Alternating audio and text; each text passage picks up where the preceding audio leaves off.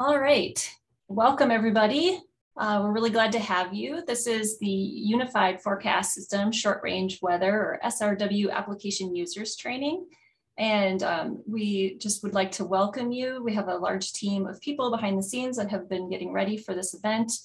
And we have a large number of people joining us from all over the world and some of you um, during your overnight hours. So we're excited to have you and looking forward to a really successful week this week. So uh, I'm gonna go ahead and get us kicked off with some introductions, some um, meeting notes and logistical things, and then we'll go ahead and get started. So Let's see.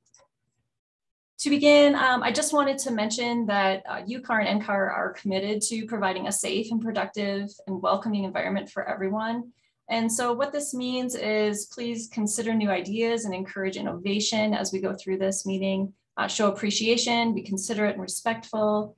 Please share the air. Um, you can contribute, but also make sure you're listening.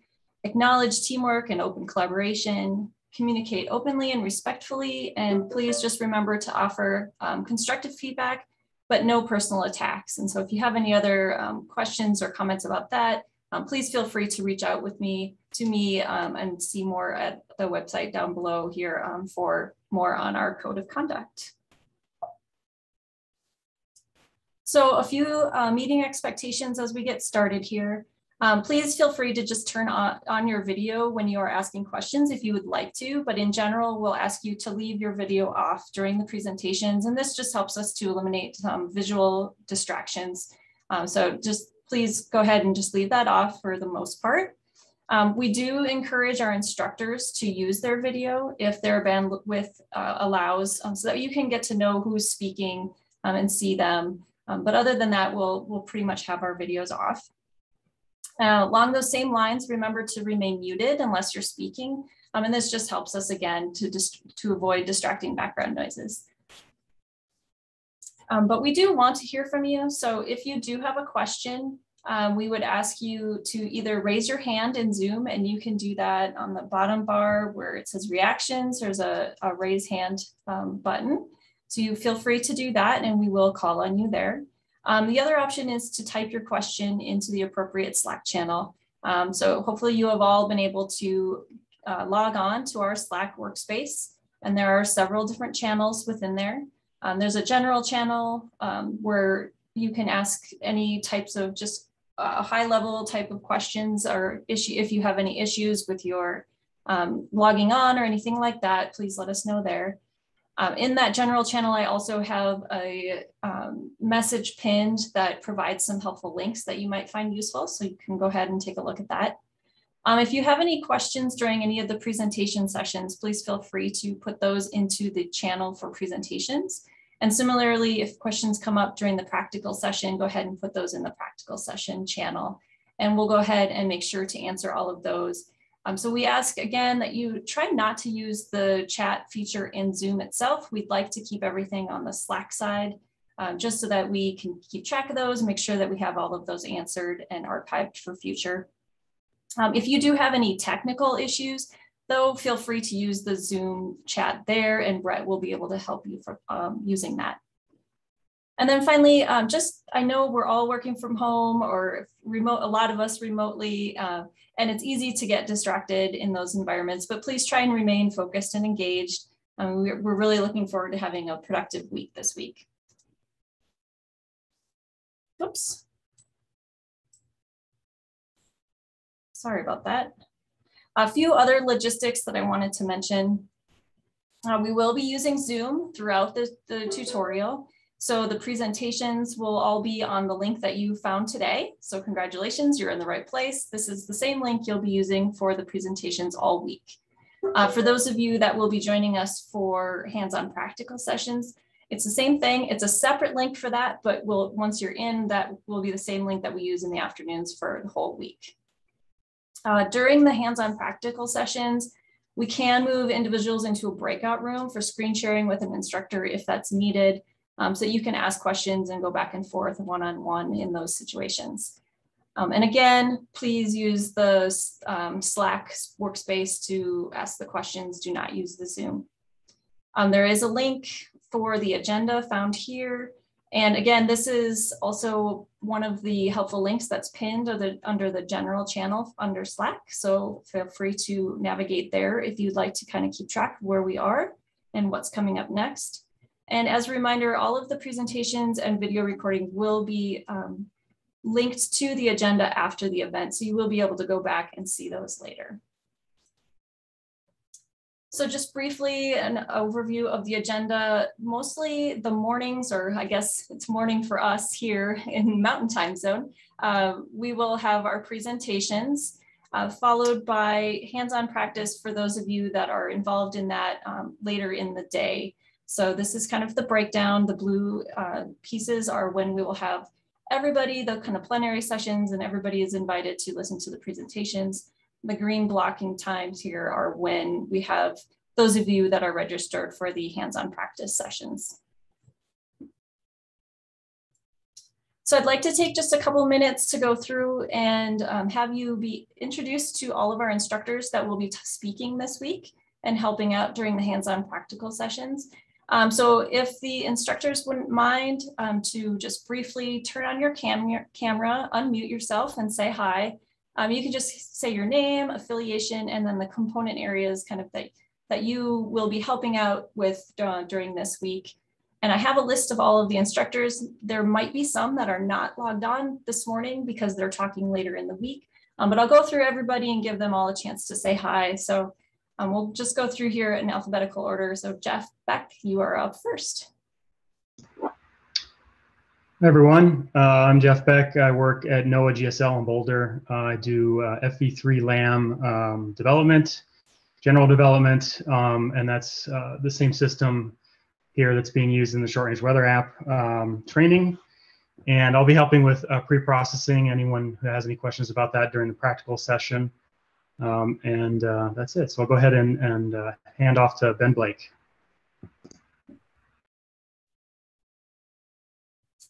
Has Ben on? Okay, Ben probably isn't joining us right now, so we'll move on to Jacob. Hello, everybody. My name is Jacob Carley. I'm from NCEP Environmental Modeling Center, where I'm a physical scientist and work in the uh, data assimilation group of the Modeling and Data Assimilation and Quality Control uh, branch. Um, I'm also the project lead for the Rapid Refresh Forecast System at EMC, and I'm very much excited uh, for this workshop and growing our community. And I will hand it over to Laurie Carson.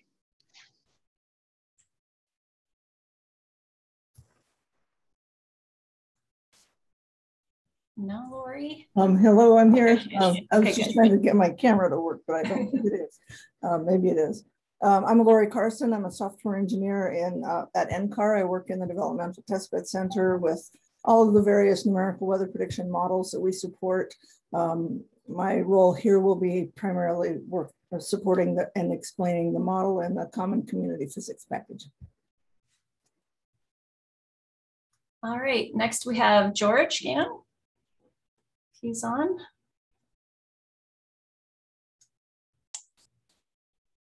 And I, I can't see all the participants, so I apologize with my screen sharing. So um, all right, we'll try Kyle. Wait, wait, I'm here. Can you hear oh, me? Good. Oh, good. Yes, go ahead, George. Thank you. Uh, hi, I'm uh, George uh, Gayno. I work for EMC and I work mainly on model pre-processing. And I'm glad to be here this week. Great. Thank you so much, George. All right, is Kyle there? Yes. Hi, everyone. Uh, I'm Kyle Gerheiser. I work at NOAA EMC.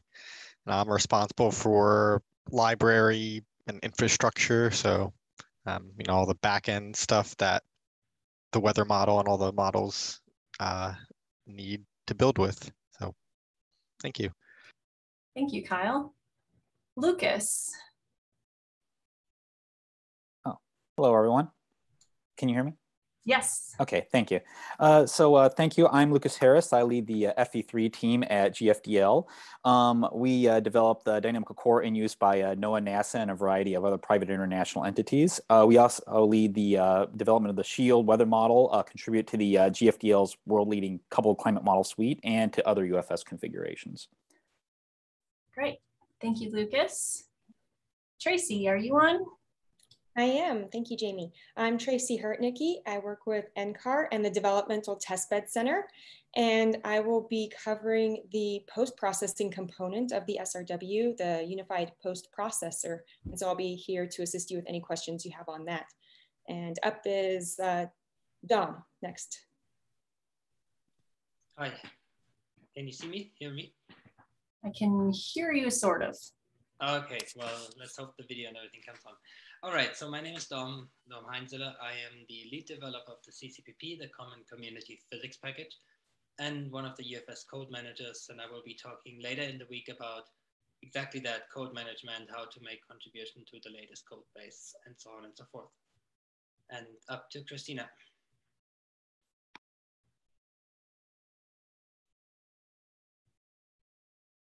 Do we have Christina? There we go. All right. Can you hear me? Sorry. I'm Christina Holt. I work at NOAA GSL and um, I will be here uh, later in the week talking about our experience with EMC working uh, to port the short range weather app to the cloud. Hey, Up next is Ming. Sorry. Okay. Can you hear me and see me? yeah, thank you. Okay, great. So I'm Ming Hu. I'm working with uh, NOAA GSL as a physical scientist. Uh, my major job is develop the RRFS. It's uh, the next generation regional forecast modeling system, which built based on the UFS SR weather app, which we are starting now. So thank you. Uh, next is Chen Hu, right? Yep. That's correct. It's me. Thank you. Uh, hello, everyone. Uh, my name is Chan-Hoo Jeon. Uh, I'm working at NOAA EMC, Environmental Modeling Center. Uh, I manage the short range weather app to work well uh, on the NOAA's operational supercomputing system, WCOSS, and extend the short range weather app to uh, air quality modeling, named RRFS CMAQ uh, I'll be presenting the ESG grid, extended Schmidt-Gnomonic grid tomorrow. Thank you. Great. Uh, next up is Mike. Good morning. My name's Mike Kavulich. Uh, I'm uh, associate scientist uh, working at NCAR in the Developmental Testbed Center. Um, I work on the general development and support for the UFS short range weather app. Um, and I'll be presenting later on this week about uh, how uh, you uh, training attendees as well might be able to uh, contribute code changes back as well. Great. All right, Gerard. Uh, yeah, you can see. Uh, I'm uh, Gerard Ketefian. I work at GSL as well as for DTC, and I've been working on the scripts and workflow portion of the of the app for a couple of years now, so I'll be helping out with that and giving a presentation on how to configure the workflow. Thanks, Gerard. Lin Lin? Hi, I'm Lin Lin Pan from NOAA GSL. Uh, I mainly work on CCPP, a Common Community Physics package. I will have a presentation on supported uh, CCPP suite in the UFS short range weather app. Thank you. Great, thanks, Lin Lin. Raj? may not be on. How about Larissa?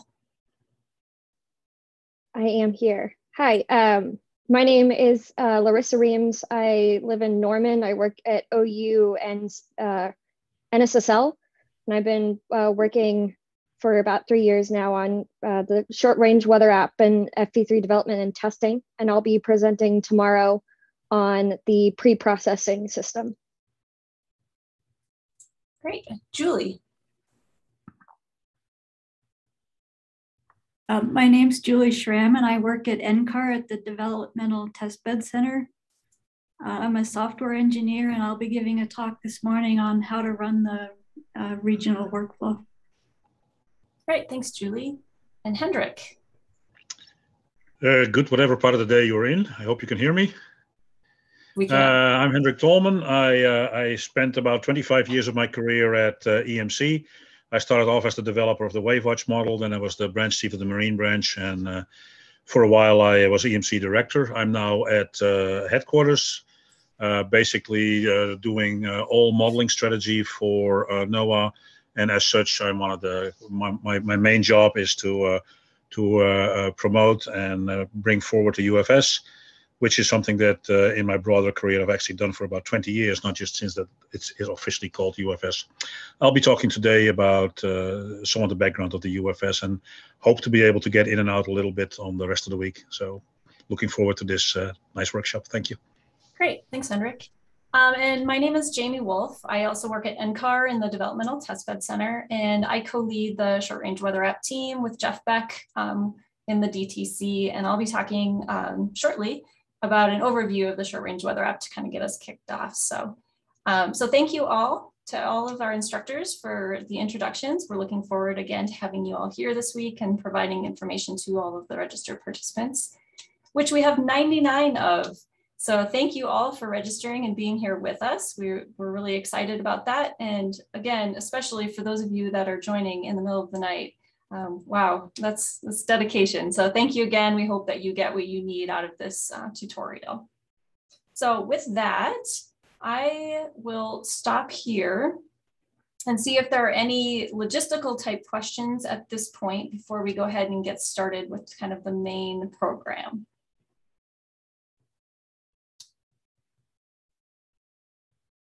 Has there been anything come through Slack or anything, Jeff? We good? Nope, haven't seen anything there. Okay, great. All right, so I will stop sharing and hopefully I stopped sharing. Okay, and I will hand it over to Hendrik, who's going to be giving us an overview and um, some talk about the vision of the UFS. So Hendrik, go ahead and share your screen and kick us off.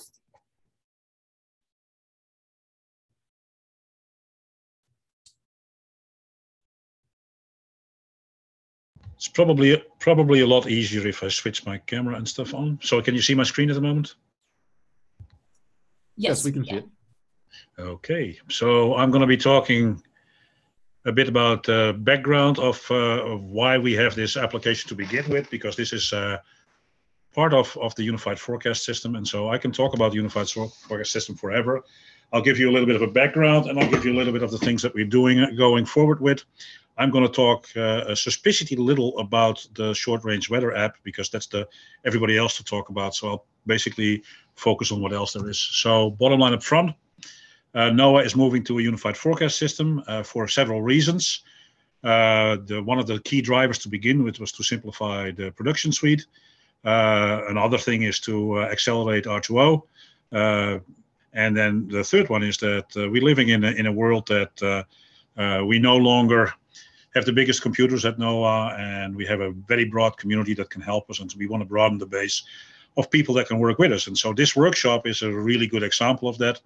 We have a release of a uh, of an application, and we're now actively training people so that we hope that uh, a lot of you will be uh, allowing us to uh, pick up your innovations and put them really rapidly in, up, in into operations.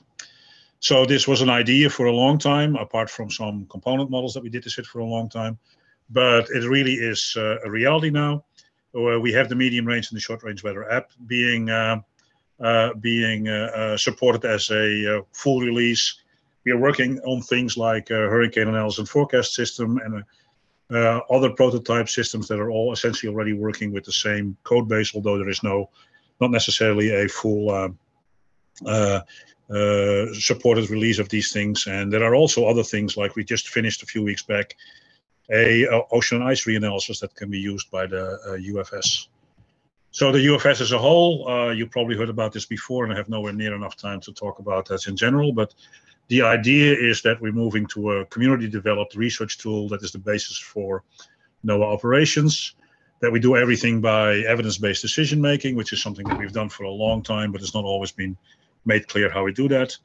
Uh, the idea is that we have a significantly large software stack of things that we can do, but we really focus on applications of these. So we focus on uh, actionable outcomes and things that can go into operations. It is a unified system uh, that is unified, not unitary. Uh, the goal is not to have just one model. The goal is to have the best possible business model where we create enough diversity for research, but enough focus for getting rapid progress at the same time. And then the whole idea is that this is really a paradigm shift for what NOAA is doing, not no longer developing our own models, but working with a very broad community on rapidly going forward with both research and operations. So in a nutshell, I can talk about this easily for half an hour, but some of the milestones that we have, we have buy-in at, uh, at, the administrator level of NOAA. Uh, there is a unified modeling committee that has been set up a few years back to really uh, sort of support this. Uh, two years back, uh, we signed an MOA between the Weather Service, NCAR, uh, NCAR and OAR on infrastructure. on the right of the screen, on the bottom, you see the seven things we're working on. we're really looking at this from a community modeling perspective. Uh, we are looking at this for research and operations. Uh, we have a we are in year two right now of a UFS R2O project where we are trying to have a much more holistic uh, use of NOAA funding to support the UFS. And then very recently, uh, we have started a NOAA modeling board uh, that allows us to negotiate within NOAA to effectively work on something like this. And then we have the Earth Prediction Innovation Center, which uh, is a contract that has just been awarded earlier this year, and we're just starting executing that. And the graphics on the right, uh, you'll you'll see um, uh, top right, uh, the red pieces are all the building blocks, and around that are applications. No, you can't read that, but it's just eye candy here. Uh, the, the figure below that shows some applications from a community perspective. The little figure figure in the middle shows uh, a lot of different applications on the left of the figure moving in the future to a much smaller settlement, and then the bottom right are the different uh, components of the MOA with NCAR. So we've been talking about this in theory for a long time, but it's really becoming practice now. Uh, we have something called the graduate student test that went with some of the uh, releases where we can literally install an application in a day uh, on your laptop if you want to. Uh, before it would take a team of several people, uh, several months, and you had to buy a supercomputer to be able to duplicate what we are doing. So this is a massive change of the way we're doing business. We have a medium range weather and a short range weather applications that are released. There are actually two releases already of the medium range. And then other things, they may not be released yet, but there is full access to the code base by the community, even if there's no release. For instance, for the hurricane uh, analysis and forecast system, for the coupled prototype S2S model, and other things. And then this is really a conglomeration of a lot of tools. So uh, we have access to things like the CCPP that already were mentioned by our instructors a little earlier. Uh, things like MET and MET Plus, things like uh, uh, tools for coupling and things like that. And last but certainly not least, uh, we are linking to what the Joint Center of Satellite Data Assimilation with the JEDI project is doing for data assimilation. So is this R2O acceleration really happening? Uh, we have experiences with uh, the WaveWatch model and HWRF model, particularly that show us that the UFS community approach is much more efficient. Uh, in WaveWatch, we've been able to show that um, we could uh, get things into operations, a brand new model in 18 months instead of three to five years, or three to five to seven years. And with HWRF, uh, we can see that in the annual upgrade cycle, we have now three to five innovations showing up every year instead of one or two. So we're really accelerating R2O pretty significantly. In the UFS itself, it's a little bit too early to show that. But having said that, we actually had a period early this year that uh, GFS was the number one model on the anomaly correlations for a week straight, which is something that has not happened in the in the recent history. So hopefully that is a sign of things to come. Uh, the core of this thing is the release schedule. I won't go through this in uh, in detail, but in blue are the actual formal releases. Uh, the medium range weather or the short range weather from March this year is the core of this workshop.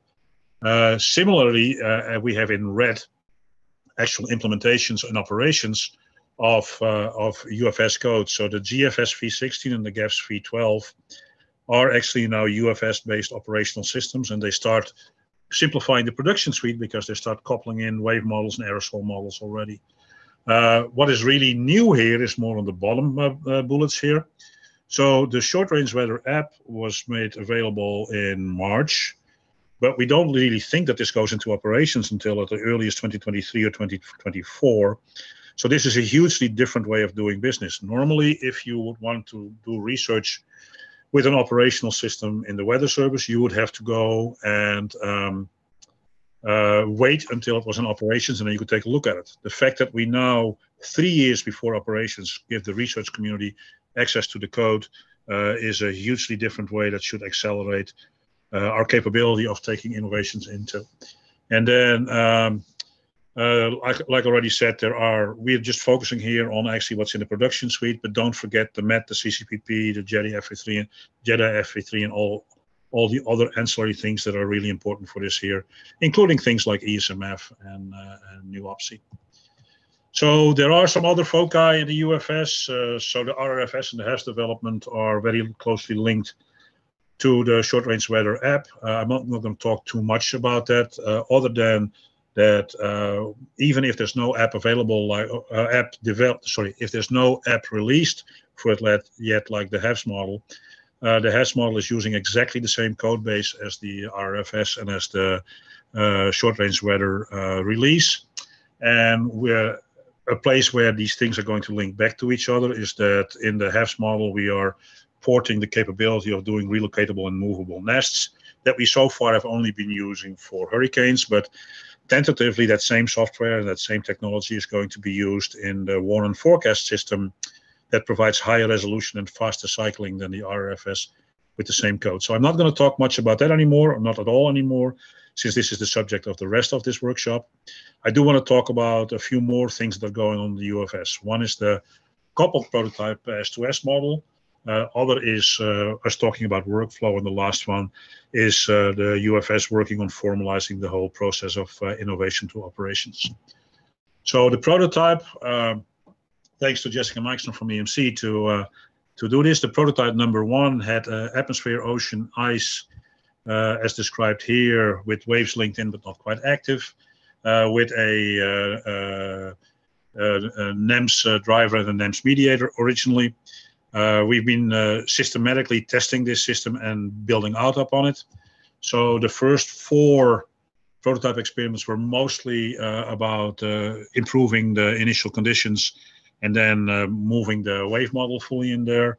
The next four sets of these are much more about the development of the system. So in prototype five, we went to CICE 6 and created a, a fractional uh, grid uh, for the atmosphere to talk to uh, either land or ocean. In prototype 6, we went to the GFS v16 physics and the vertical resolution, and we went to the community CMEPS mediator, and uh, those things are finished. We're now working on prototype 7, uh, which has a whole bunch of, uh, of technical upgrades in it, and then prototype 8 uh, will be about getting some uh, more advanced DA in there and some physics tuning. On the right side with prototype 6, we are now at the layout that we're envision, envisioning with the shared infrastructure with NCAR. And I don't want to show too much uh, in results, but uh, uh, one of the reasons for doing this coupled modeling is because we had uh, issues in the existing seasonal forecast systems about ice not being done very well. So black here is the um, uh, uh, annual uh, ice over a year. The, gr the gray whiskers were the clearly driving away of the CFSV2 from the correct initial conditions, and the blue and the red here are the coupled system that out of the box are doing a heck of a lot better already. Uh, if you want to know more about this, talk to Avichal Mehra and Jessica Meixner at EMC. Uh, with this, uh, about a, a, few weeks ago, we also had the first new uh, ocean ice reanalysis done that we've uh, uh, for the first time in a long, long time. Without going into the details, this is all already UFS model based. It's JEDI based, so it's really going into the right direction in terms of the unified system. And just to give you a, a really uh, simple idea, the gray is the error of the free model, the blue is the initial, uh, and the red is the final uh, DA system that was created. So we have a very nice 40-year uh, ocean ice reanalysis now that we can use for the seasonal and subseasonal models and for uh, doing statistical correction on these things. Next part I wanted to talk about is a little bit about workflow. Uh, again, for the UFS, we not the goal is not to have one workflow, but to make sense of having a workflow system that works for everybody in the best possible way with the best possible diversity. Uh, workflow is something that the original discussions tended to be a little bit about, um, uh, hey, use my system because it, it works nice. But we went back to the to the basics, to the, the requirements uh, instead of solutions. So we looked at from a software engineering perspective and from a systems engineering perspective.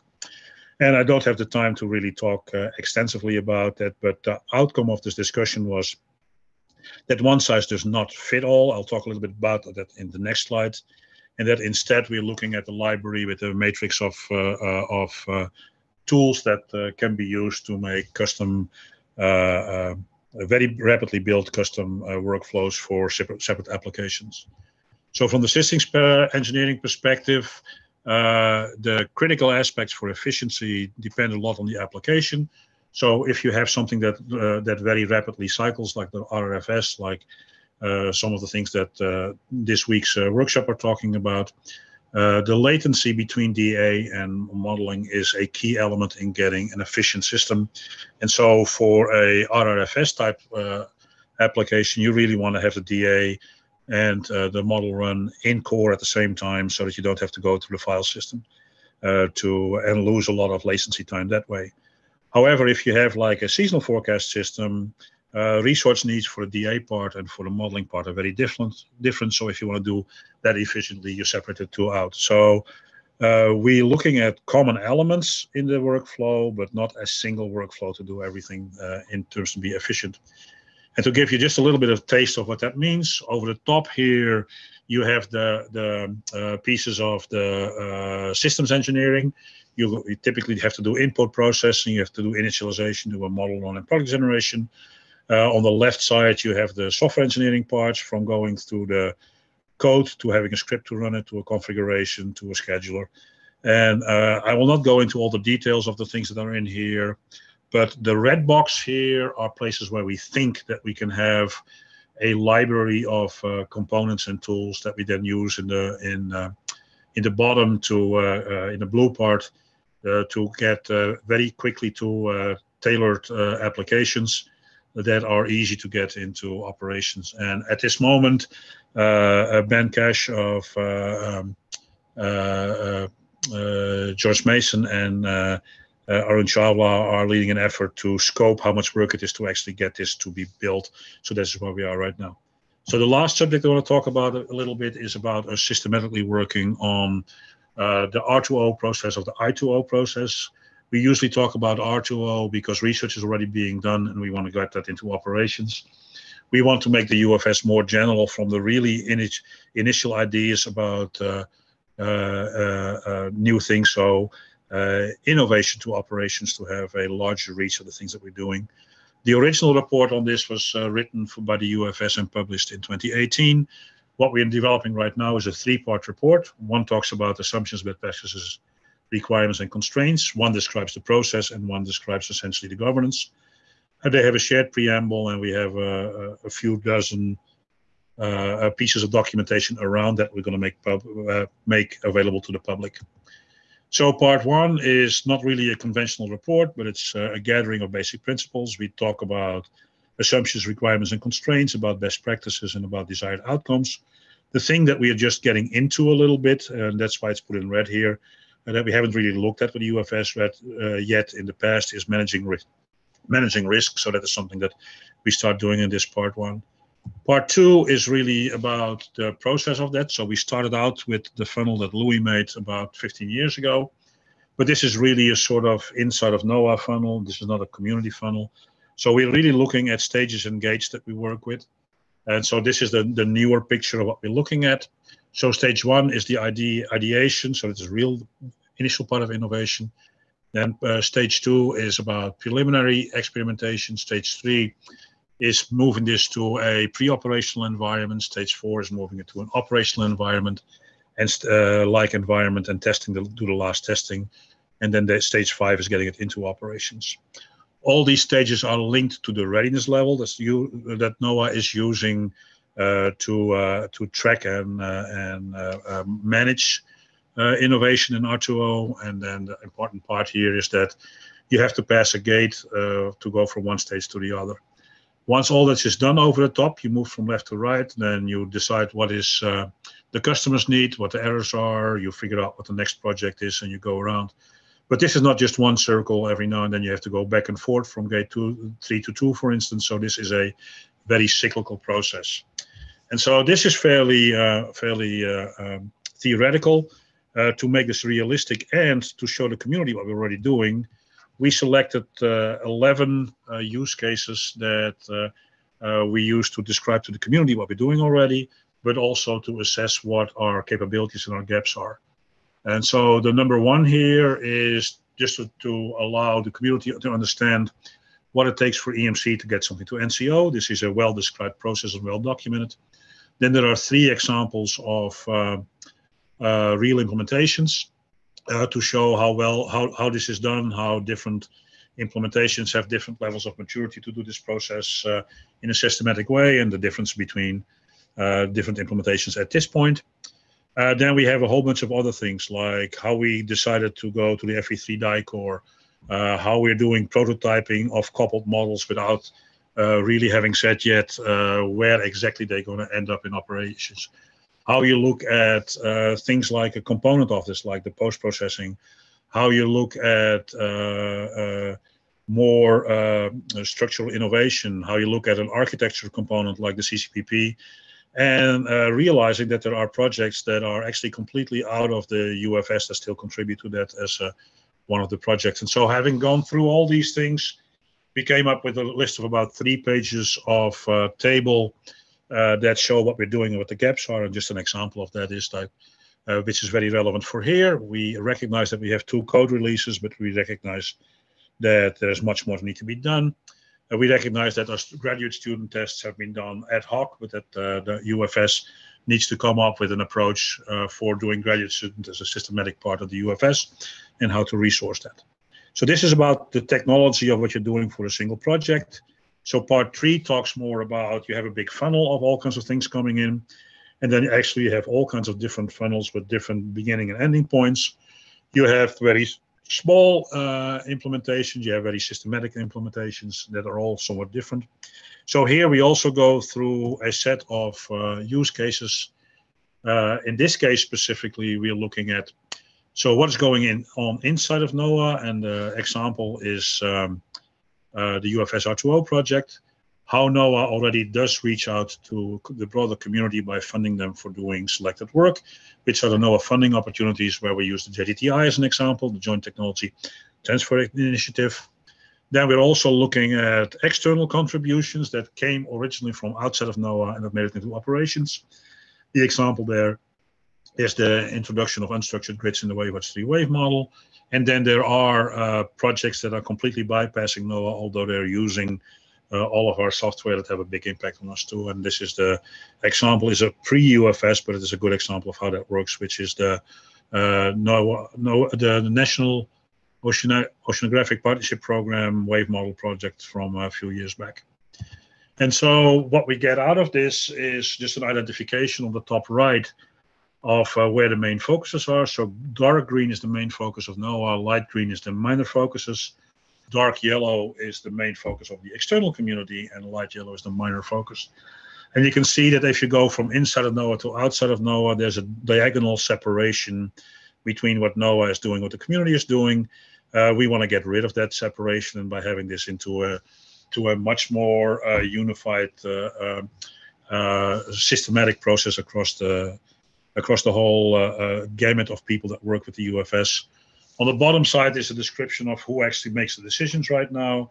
You can see that same thing, uh, a little bit of a separation between community and NOAA across the diagonal. So one of the outcome points that we are now discussing with the UFS steering committee is the fact that the UFS steering committee, as it was originally envisioned, really should become sort of the clearinghouse for this process and manage uh, where the different projects are in terms of uh, the stages engaged. Uh, and this is something that we are developing right now. Having said that, I've talked a lot so far, and I hope I have a, a few minutes for some questions. So I will uh, give it back to our organizers to see uh, if they want to manage some questions. Thanks, Hendrik. Do you, does anybody have any questions for Hendrik?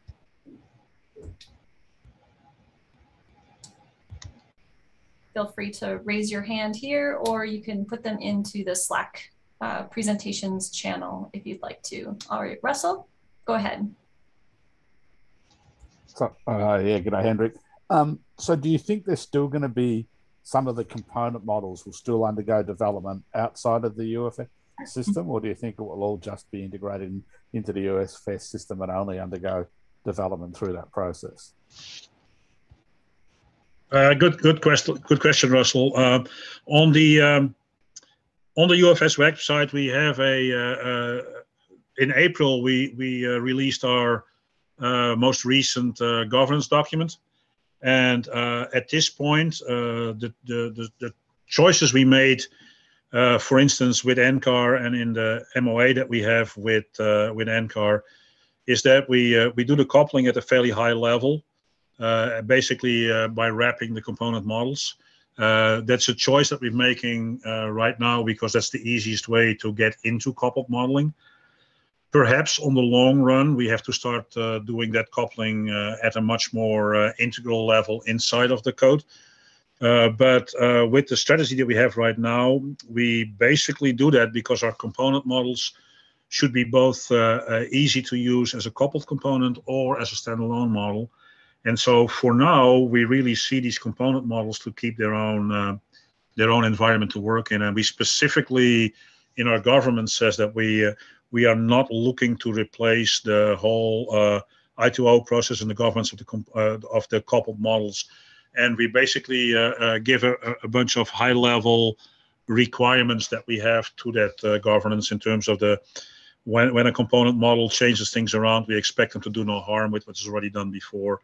Uh, but the long story short is that we expect these component models to remain their own their own um, own uh, communities for a while, and we don't want to um, to impose from the UFS how these component models are run, except for the fact that they have to uh, to uh, uh, follow certain quality assurance and, and and and and things like that. And like I said, the do no harm part. that may change in another 10 years, but for the short term, we want to do that because that also allows us to uh, add new alternatives for component models in a relatively easy way.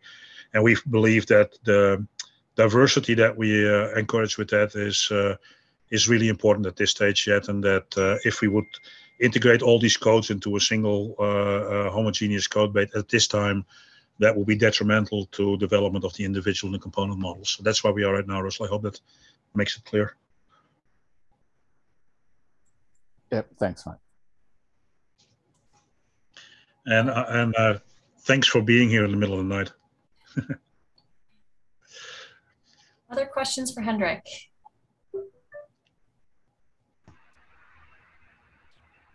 Lucas, did you have your hand raised? Uh, yes, I did. Go so, ahead. Uh, oh, so thank you. So uh, NOAA's couple of climate models, especially the GFDL modeling suite, are among some of the best in the world, and they have their own uh, pretty strong communities behind them. Do they fit into this at all, especially given that uh, the Weather Service's prerogative only goes out to two years, whereas the climate modeling prerogative goes anywhere from weeks to millennia? Yeah, so so thanks for that question. Uh, much appreciated. Um, Thank you. First of all, all the components of the GFDL models are already part of the UFS. A lot of them. So the MOM6 uh, for, is the is the good example of that, and the fact that we uh, we adopted the FV3 uh, uh, dycore. Um, the, the, the difference between uh, GFDL and and what we have in the UFS right now is mostly in the coupling and and into the the use of FMS uh, or uh, the higher level coupling. Uh, the short answer is that we are in discussions of expanding the UFS applications to work on work for the longer timescales too. We are also uh, between the Weather Service and the UFS side in discussions on uh, how to properly um, uh, merge the different coupling techniques it is something that is definitely possible because we're already using the component models, uh, and it is something that we are very much interested in. Uh, uh, we're not interested in in um, uh, building different stovepipes in NOAA as a whole from a from a top level NOAA perspective, but we're also very uh, cognizant of the fact that we do not want to uh, uh kill really good existing capabilities. So this is a uh, uh, a ongoing um, topic of discussion Uh, within the UFS or within broader NOAA, and uh, I got good hopes that uh, this is going to be really productive over the next few years. And so, yes, we we uh, definitely want to uh, to acknowledge uh, in some way, shape, or form the the really good climate models from GFDL and the fact that they are already very closely linked to what we're doing in the UFS, and we're exploring how we can make that linkage stronger. Thanks, Luke. That's wonderful, Hendrik. Thank you so much.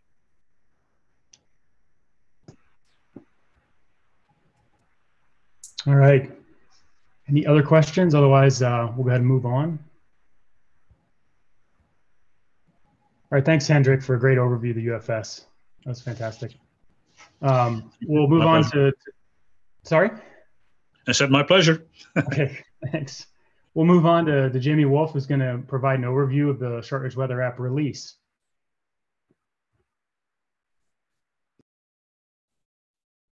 All right, is that coming through okay, Jeff? Looks good. Great. All right, so as Jeff mentioned, I'm gonna have uh, provide an overview of the short range weather app release that we had um, back in March. And this is largely going to be um, the basis for what you're gonna be learning about this week. Though you may have noticed that we also had a small bug fix release um, last week, just a few tweaks um, to make sure that everything was working smoothly for you all this week. So um, my name is Jamie Wolff. As um, you have, I've met you before at the introduction session. And I want to just say uh, thanks to my co-leads for the release team. Um, they included Jeff Beck, Jacob Carley, and Curtis Alexander.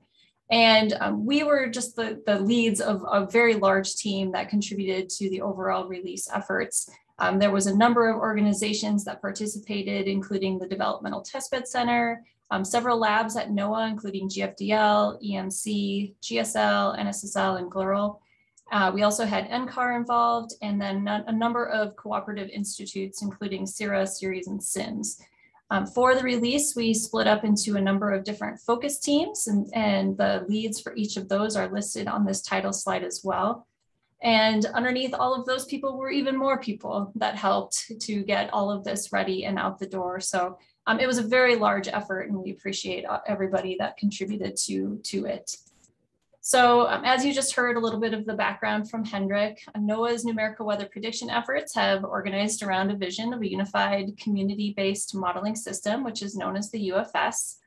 Uh, the UFS is configurable across multiple different domains, and it goes from the global to the regional to convection allowing, and ultimately um, down to cloud resolving forecasts um, in the future.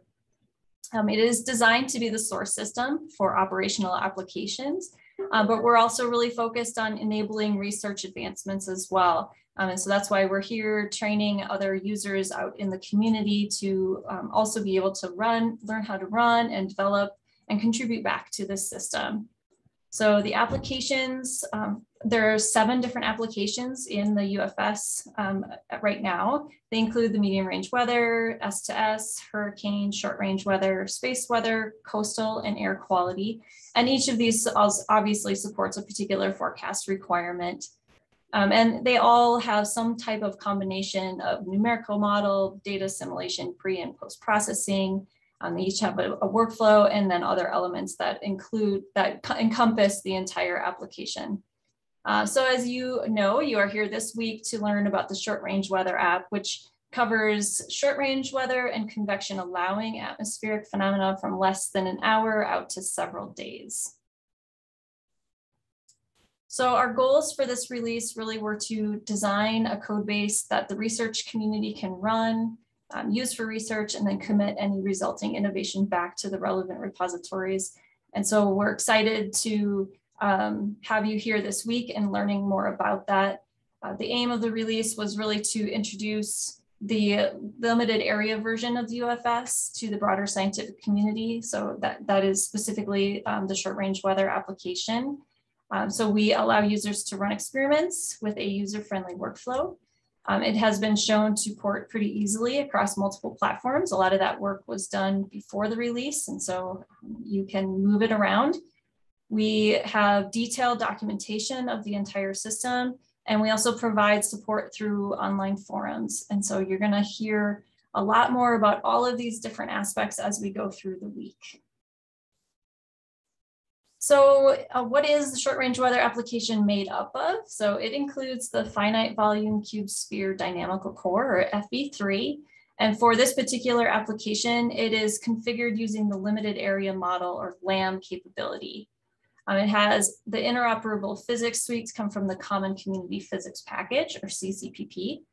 And the application includes a user-friendly build system that you uh, that is invoked through CMake. Um, you generate an experiment and then you can use either the Rocoto workflow manager or standalone scripts to run those.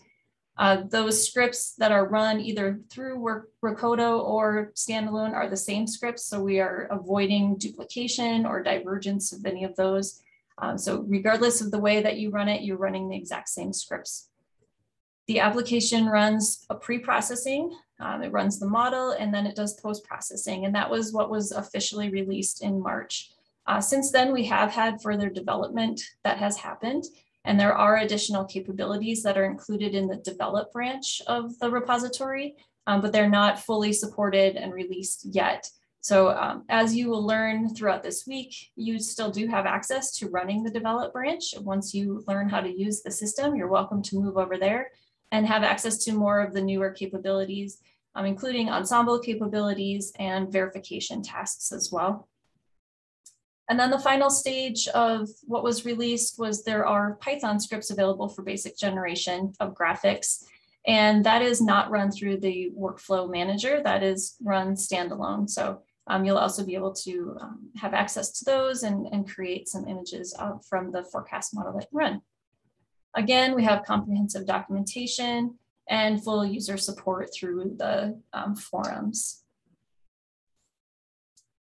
So uh, the short range weather application um, is based on the FV3 Dynamical Core, which was originally um, a global configuration that used the gnomonic projection where great circles serve as model coordinates. Um, the the um, domain is covered by six tiles globally, um, which provides nice grid uniformity when it's um, configured in this way. And you can also do refinement through Schmidt transformations and nesting. But again, it was required to run the full global domain. So um, because of the motivation by convection allowing modeling application needs, there was a limited area model capability that was developed. And uh, for within the short range weather app, there are two grid generation methods that are supported. Um, the standard Schmidt refinement or GFDL grid and the extended Schmidt gnomonic or ESG grid.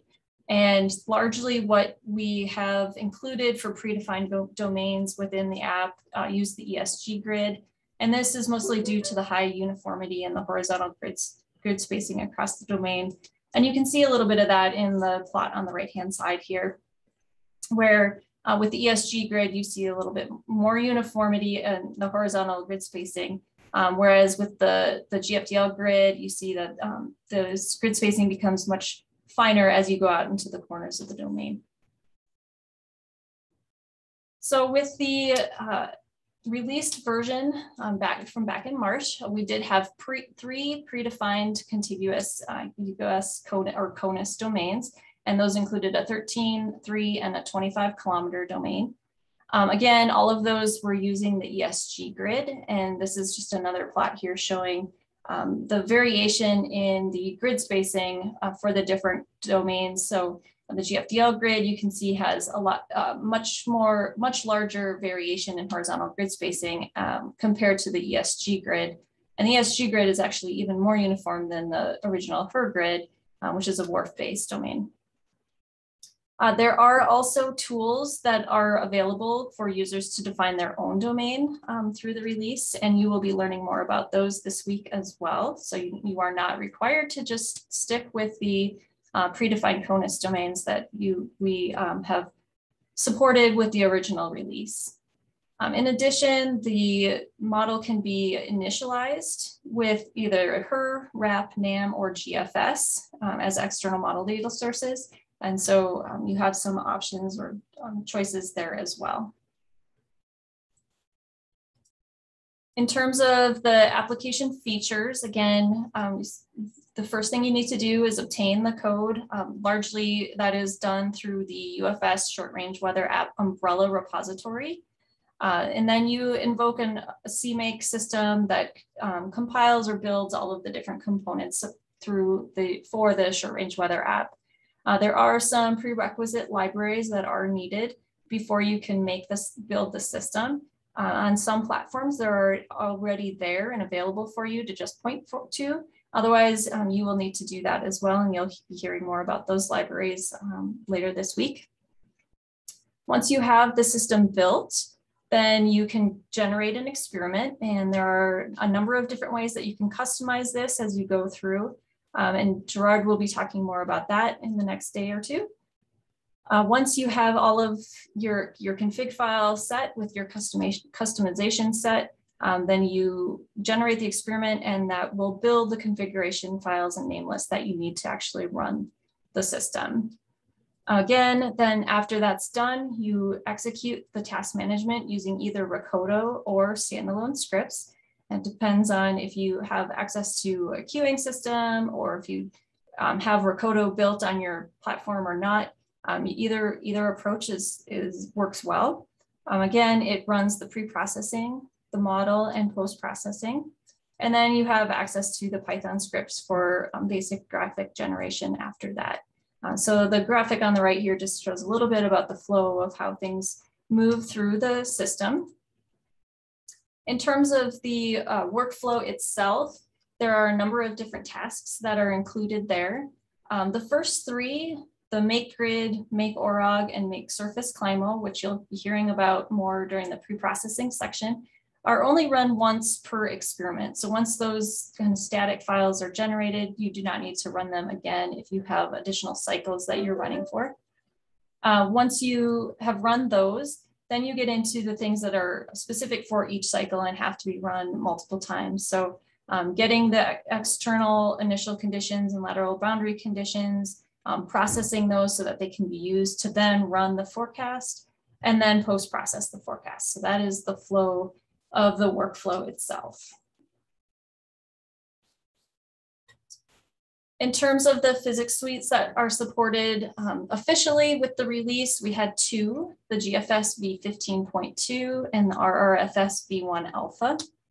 The GFS v15.2 was operational at the time that we were preparing for this release. And this is recommended mostly for use of the coarser resolution um, if you wanted to run at something like 25 kilometers, it, this would be a, a good physics suite choice for that. Um, as you get down to the finer resolutions and being much more forward looking for what ultimately we would like supported or uh, running in operations for the RRFS um, that you heard Hendrik mention as, um, as well, the rapid refresh forecast system, which will be operational likely in the 2023-24 timeframe. Um, this is a more forward-looking physics suite in that case. Um, we do expect that there will be even a few more things that will change, um, specifically the PBL and the gravity wave drag as we further develop and test the system in the next couple of years.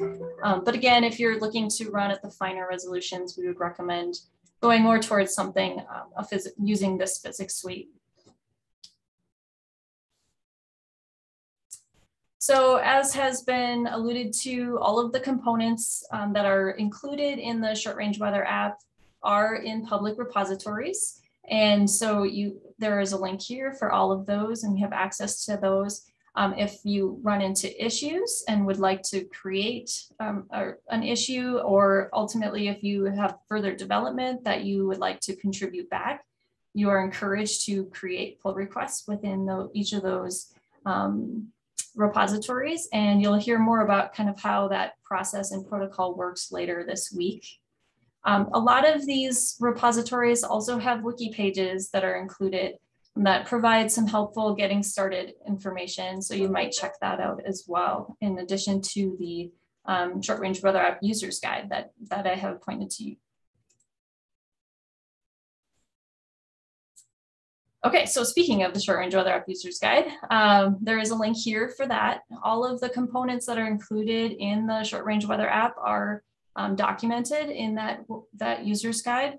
It includes UFS utilities, which is the pre-processing side of things, uh, the UFS weather model, the dycore, the physics, the post-processing, and et cetera. So um, a large number of things available there. Uh, this particular link is also pinned in the general channel um, on the Slack workspace. So if you would like access to have that handy during this week, um, feel free to access it from there.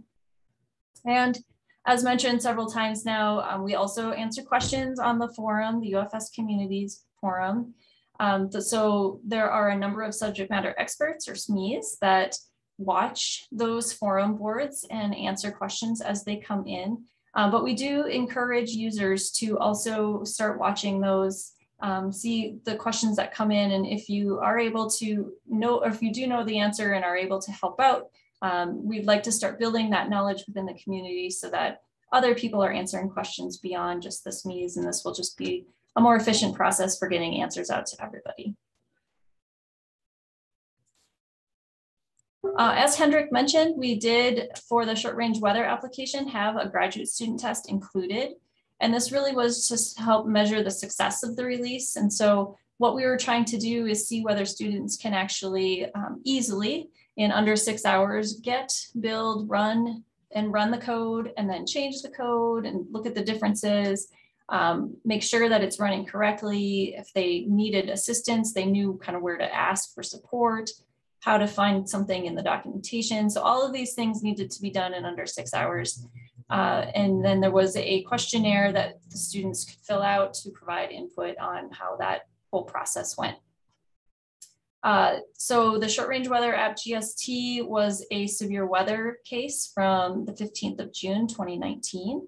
And this will this case will largely become familiar to those of you that will be um, uh, participating in the uh, hands-on practical session this afternoon, as this will be the case that we largely work with uh, throughout the week um, with our different um, options that we're going to be testing and showing you how to um, compare and contrast and, and modify, et cetera. So um, this was something that was also included in the short range weather app. And again, largely looking to make sure that this is highly portable and easy to understand and, and um, easy for the user community to kind of spin up and learn. So. All right, so again, I Hendrik showed this graphic, uh, a small little version of this graphic in his slides as well. Um, this is affectionately called the rainbow diagram. Uh, and so what we're showing here is that um, you can see that there was a very large number of systems running in operations at EMC, and there and there still is. Um, but over time, the goal is to make those to unify those to largest um, to a smaller number of systems. And so for this particular application, the short range weather application, we're kind of looking at the blue shading, um, which over time in the next few years will condense down into from like things like the high res windows, the NAM, the RAP, the HRRR, um, the, the HREF, the ensemble forecasting, et cetera. All of those will be um, consolidated into this RRFS um, as we move through time. And so um, that is the goal of the UFS. And again, you can see similarly things are, like that are being done with the medium range and sub and uh, S to S scales as well, um, kind of up here in the green shading. So ultimately, we're really excited to have you join us this week and to join the UFS community. Um, we're looking forward to having you conduct the scientific research by running the code and analyzing the output. We're excited to see you share results through presentations and publications um, through a number of different forums as we go forward once you have learned how to use the system and really start digging in. Um, if you develop additional code or techniques or innovations, um, it would be great to have those contributed back. So having you open issues and um, submitting pull requests in, back into the code base is a big um, big reason why we're, we're doing this. We want to support the research to operations or R2O uh, transitions. Um, if you do run into issues, please feel free to report those either on the UFS forum or through the GitHub issues themselves. And again, just to reiterate that Um, when you're on the UFS forum, we ask that you ask and try and answer questions um, as you're able on, on that forum. If you'd like to further be involved and, and are looking for additional funding sources to do UFS type uh, research, we would recommend that you take a look at the NOAA NOFO or the Notice of Funding Opportunities that went out. There's a lot of options um, specifically for UFS based research. Uh, there is also a DTC visitor program that you are free to apply for um, for PIs and graduate students to come and visit us and work with the system. And then um, just for more information, there are newsletters that come out on a generally quarterly basis for the UFS and the DTC. Um, so feel free to also check those out for further information. And once you have learned how to use the system and you're doing your research, we look forward to seeing you at a future UFS users workshop to hear more about what you're doing at that point. So I think with that, I am finished and I will go ahead and open it up for questions.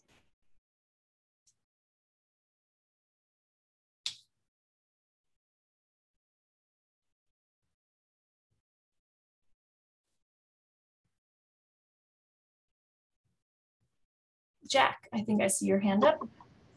Yeah, hi, Jamie. I was wondering whether to ask the question or put it into the Slack channel there. But on one of the on the bottom of one of your slides, you mentioned the UPP portion of the overall SRW, and that there's Python code in there to turn Grib2 into some visuals. So I was just curious, and I, I, tried to look down through the tree there on GitHub to see if there is some sample code there, but I couldn't find it. So I was just, should I put that into the Slack channel link there to ask the question or? Yeah, so there are, are, are you asking whether there are scripts to run, the, the Python scripts are available to run? Yeah, if they're listed there inside of the overall app, you know, link that you gave. Yeah, so um, I, we can be sure to send you a link to the regional workflow um, repository as well. The Python scripts are actually in that repository which is underneath the, the umbrella repository for the short range weather app. So um, I, we can go ahead and if you want to put that question in Slack, we'll make sure to point you to the right location. Okay, thank you. Yeah. Other questions?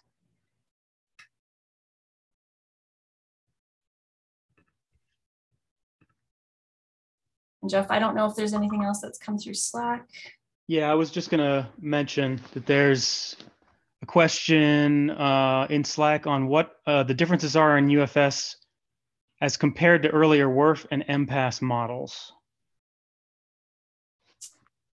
So it, I'm, if I'm understanding the question correctly, um, you know, you, you, the UFS is based around the FV3 die core, which is a different dycore than than uh, the WRF and the MPAS dycore. So that's the main difference there. And the UFS is a you know a framework that's being developed, as Hendrik mentioned in, in NOAA, to uh, provide a, a, way for development to take place uh, with help from the community. So it's not just uh, internal NOAA development. So hopefully that answers the question there. Yeah, and just just to briefly mention, um, so with the CCPP or the Common Community Physics Package, uh, there are some efforts underway to make sure that the physics packages that are included within that can be run um, both in uh, both in the UFS as well as in MPAS, for example. Um, and hopefully some of the CCPP folks can uh, chime in on that later this week. Um, but there is some interoperability there. Um, but as Jeff mentioned, the, the large difference would be that the, the dynamical core is different, the difference between the two um, modeling systems. Um, but you will notice that the unified post processor can be used for both. So they do share some in the, the system end-to-end -end system as a whole, um, they do share some similarities there. Uh, Russell, I see your hand raised. So I suppose can't help but ask the question does this mean that WRF will stop getting NCAR support at some stage for development?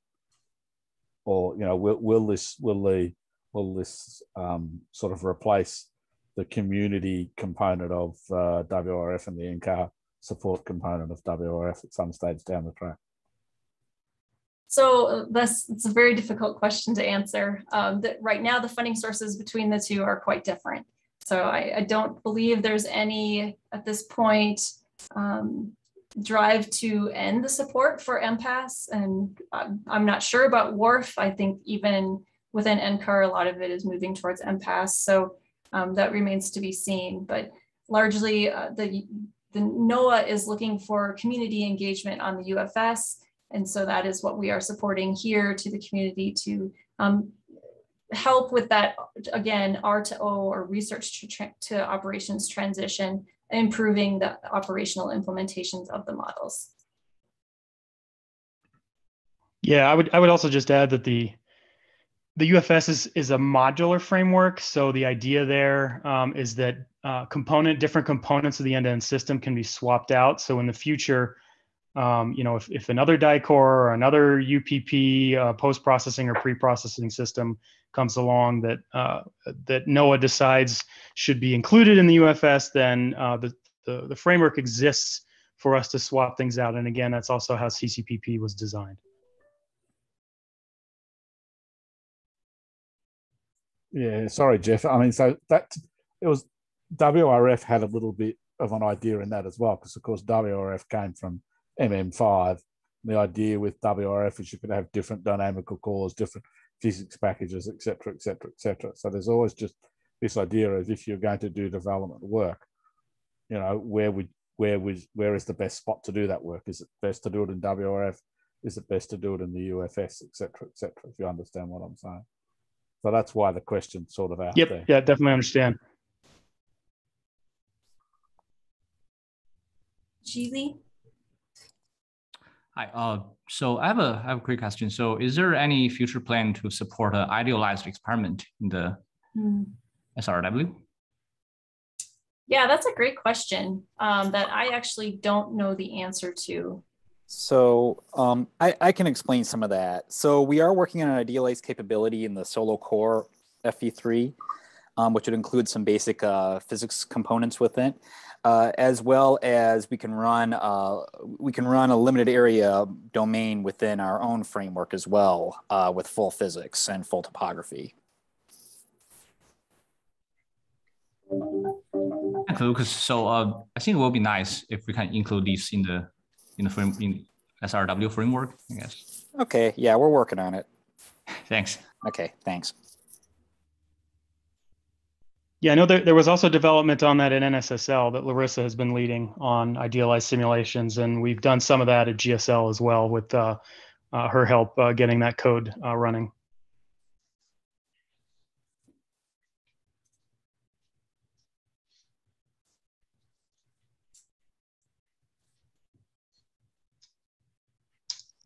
All right. Any other questions?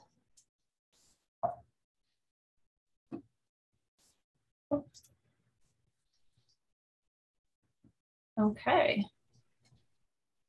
Jamie, there was a question in the general channel on Slack from Chong Chi Tong. Has the forecast performance regarding using the original GFDL cubed grid and the new uniform grid been compared? Also a great question. Um, Gerard or somebody from EMC, have you guys done any of that comparison?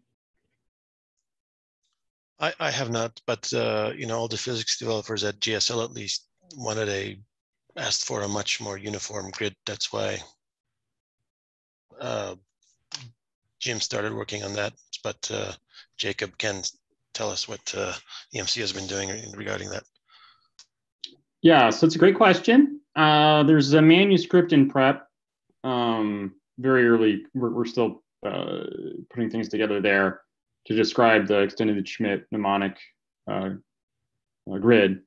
Uh, there has been some uh, testing and evaluation under the context of tropical cyclones, but I don't have anything at my fingertips or, or that's ready for prime time sharing. Um, but there are other advantages um, of using it, you know, associated with the uniformity, uh, but I don't want to uh, steal our colleagues' thunder uh, for when they present on it uh, uh, later on. So I'll, I'll, stop there, and we can certainly talk more offline after that uh, as well, after that presentation's gone through. Thanks. Yeah, thanks, Jacob. and that presentation will be tomorrow um, from Chan-Hoo. So we look forward to hearing more then. I could, I could briefly mention that uh, in Tarkin Group, we have done uh, that's, that's before. Uh, there's uh, some work on compare the ESG grade and the, the uh, conventional GFDL grades. And basically, the conclusion is is uh, statistically comparable to each other. Uh, but that's uh, again, that's uh, not running on the same dynamics options, and also the domain are not uh, cover the same exact same domain. Mm -hmm. so. Great, thanks for that input too.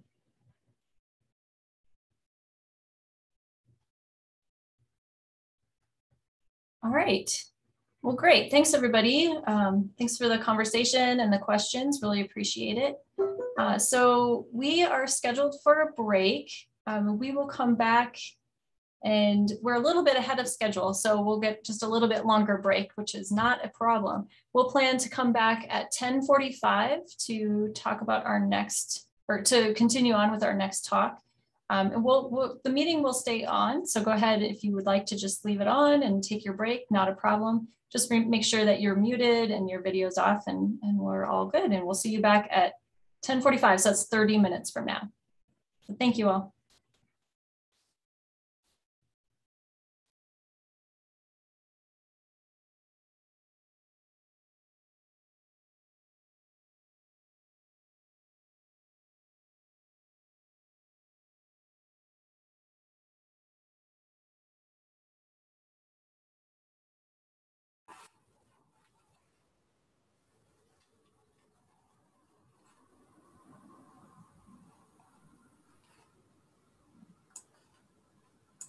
Right, just before we get started again here, uh, I'm going to mention that if you are unable to see all of the different channels within Slack, you might need to browse the channels available and join certain ones. So if you don't see things like um, the practical session or the presentations channels, um, please feel free to uh, browse the channels and join those um, other ones as well.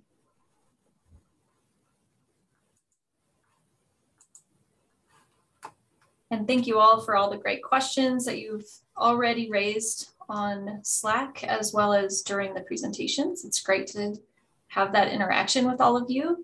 Um, so our next presenter will actually be Linlin Pan, and he will be talking to us about building the short range weather app.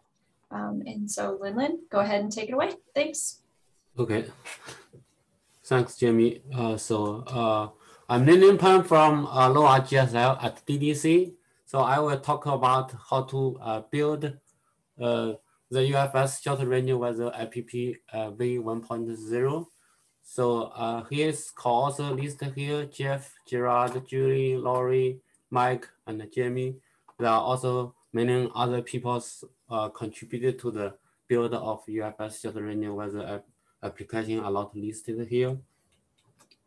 Uh, here is the documentation uh, on how to build the uh, short range weather IPP. So you can uh, follow this documentation, then go to the quick start part that have uh, details on the how to build uh, the system.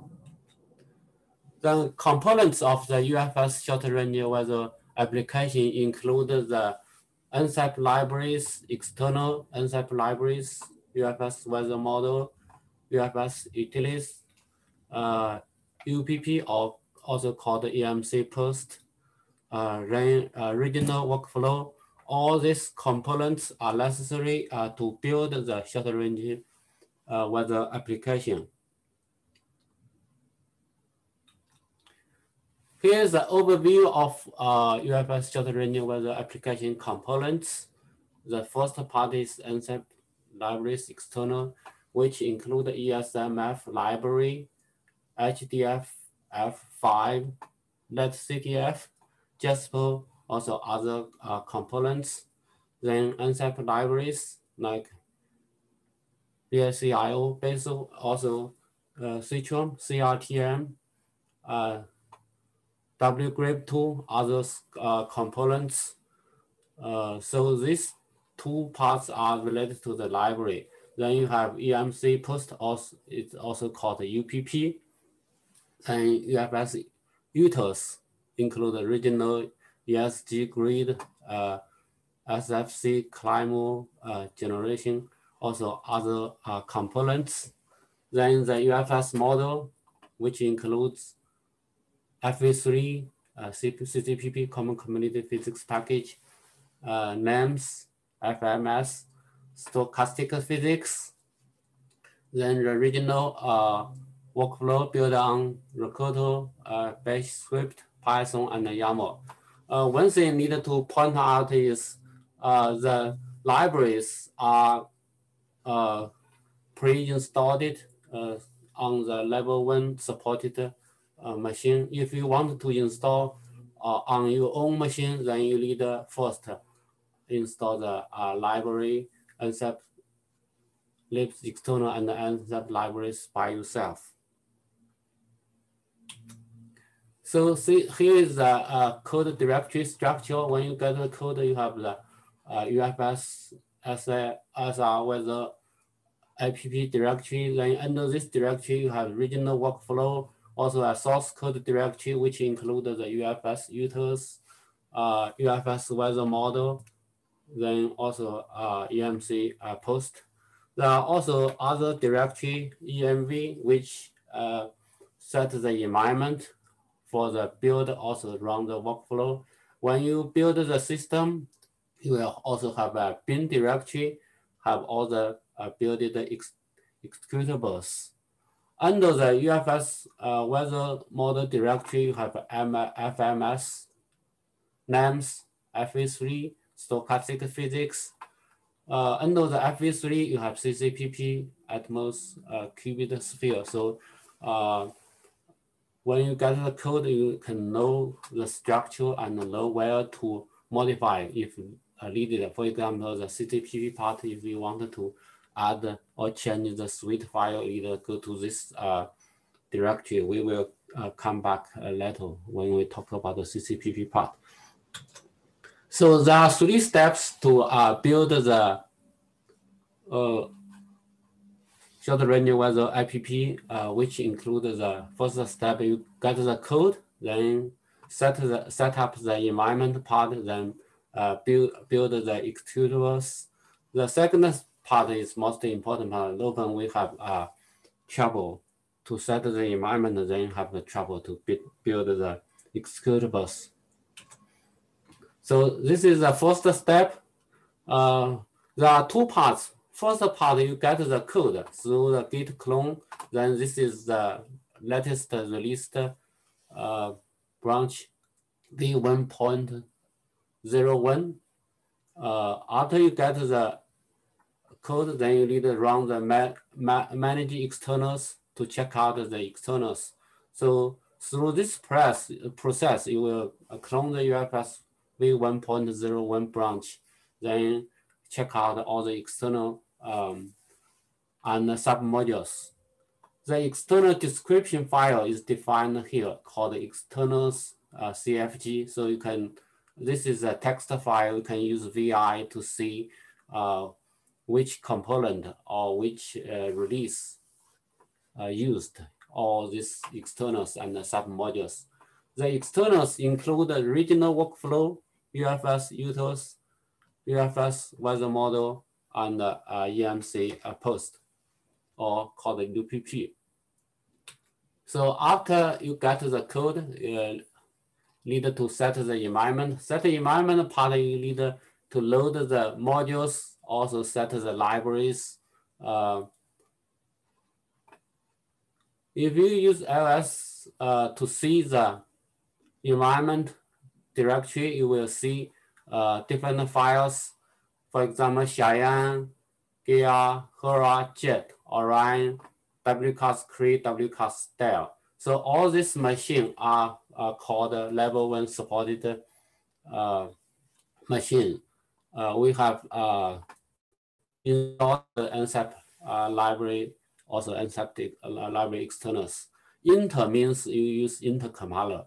Uh, GNU glue means glue compiler. So on Cheyenne, NCAR Cheyenne machine, you can have two uh, compiler. On other machine, we only uh, tested the Intel. We didn't try other uh, settings. So this is an example uh, for the file uh, build Cheyenne inter.env. It's in bash uh, format. So at the beginning, you put uh, clean the environment, then load needed like intercompiler, the MPI, also CMake. For this part, they load the NCEP library, external and the NCEP libraries. This is pre-installed on the uh, Cheyenne. So also on other, uh, as I mentioned earlier, the supported uh, machine, you have all these uh, libraries already installed. However, if you want to install on your own machine, you need to install the uh, NCEP libraries by yourself. Then we'll have a following uh, tutorial presentation on how to install the libraries. I will not talk about here. Then you have the import, export the uh, compiling uh, environment, also the machine. So we define this machine use Cheyenne, use intercompiler.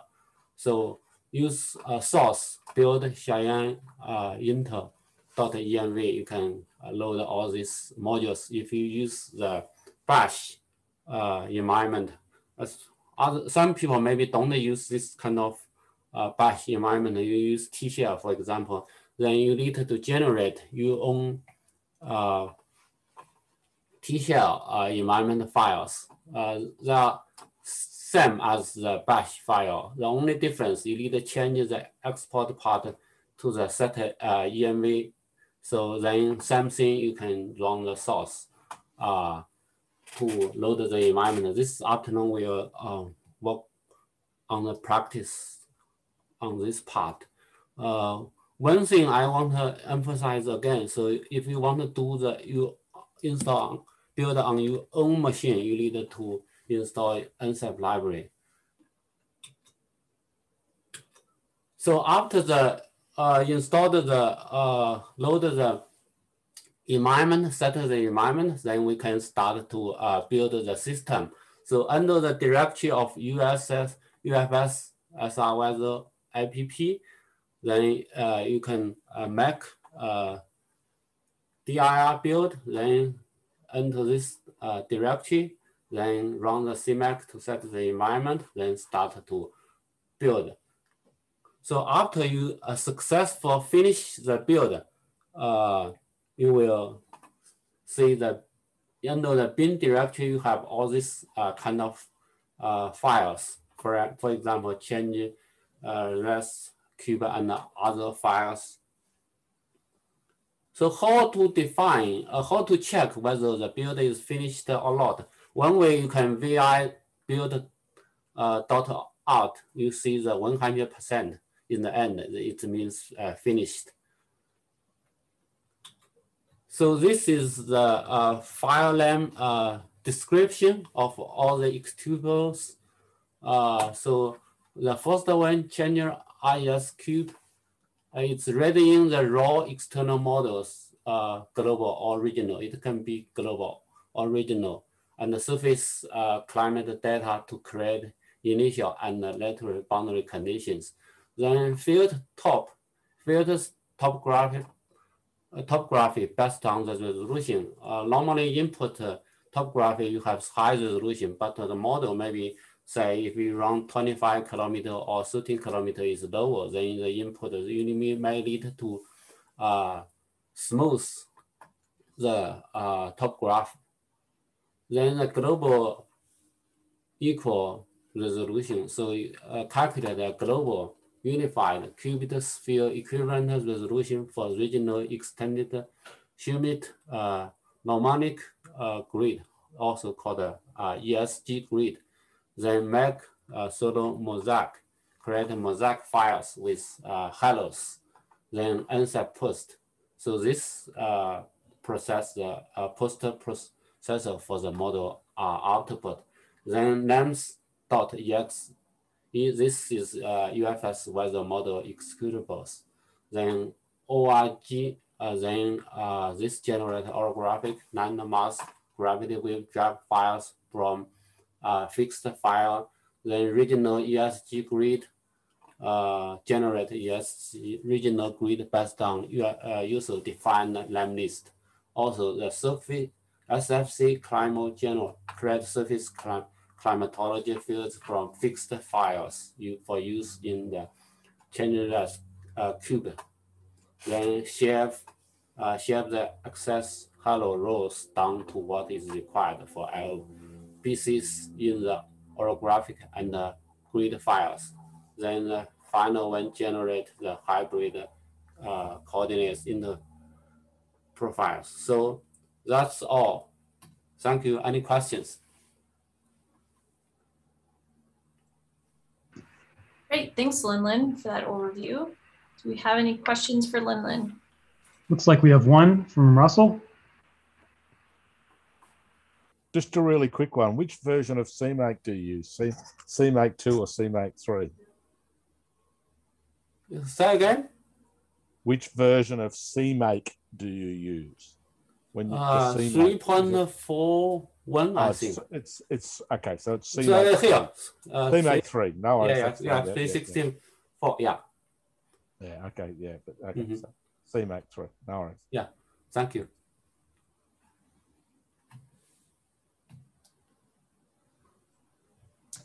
Any other questions for Lin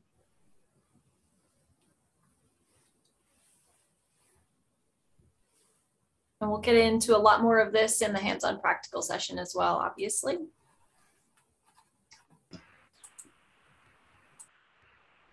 Yep.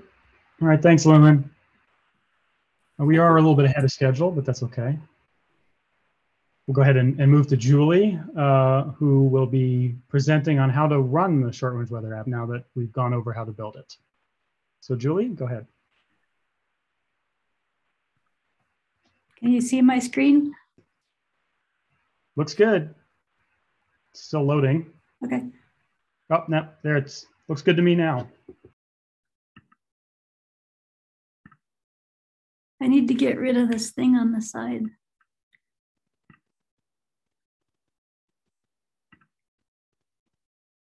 Uh, I think you're okay, Julia. We can't see it, so you should be good. Oh, okay. Um, I'm going to be talking about how to run the uh, short range weather application. Can't see my first slide though. Uh, I'd like to thank all my co-authors uh, shown on the first slide. And the first three slides are just going to be a little bit of background information. The first uh, thing I wanted to show you was all this documentation we have that's generated by Read the Docs. So we have a new version for version 1.0.1 that we just tagged last week. And these slides will follow the steps, generate the workflow, and run the experiment section.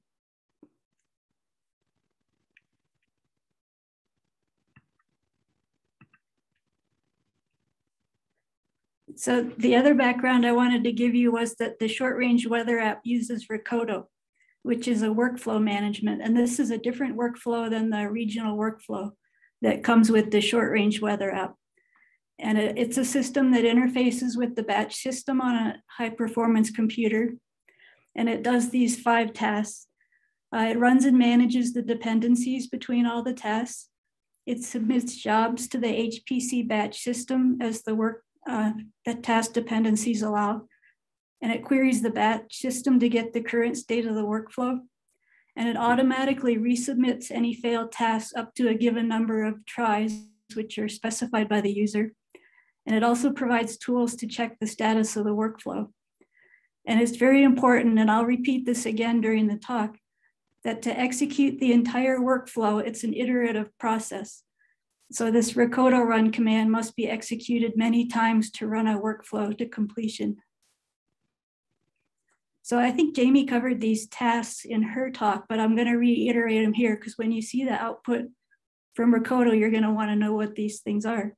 So the first task that gets run is this make grid that um, generates the regional grid files. And then uh, make orog, it has dependency, so it's not gonna be the first task that runs, but it generates orography files. The make surface climo generates the surface climatology files. And the next two tasks um, get external data for the initial and lateral boundary conditions. And then the make ICs uh, task here generates initial conditions from the external data. The next task generates uh, lateral boundary conditions. And then finally, after all the pre-processing, the forecast gets run and then the post-processing is run. So to run the workflow, it takes three steps. The first is to set the uh, experiment parameters in config.sh, and this is all user-defined parameters that's set in a file called config.sh. Then you need to set the Python and some other environment variables. Then you run this generate workflow script that's very automated, and it basically sets up the experiment for you. And these steps can be done using scripts available with the regional workflow, which then runs all the tasks using the uh, Rocoto workflow manager. So the first thing you need to do is set uh, parameters in config.sh.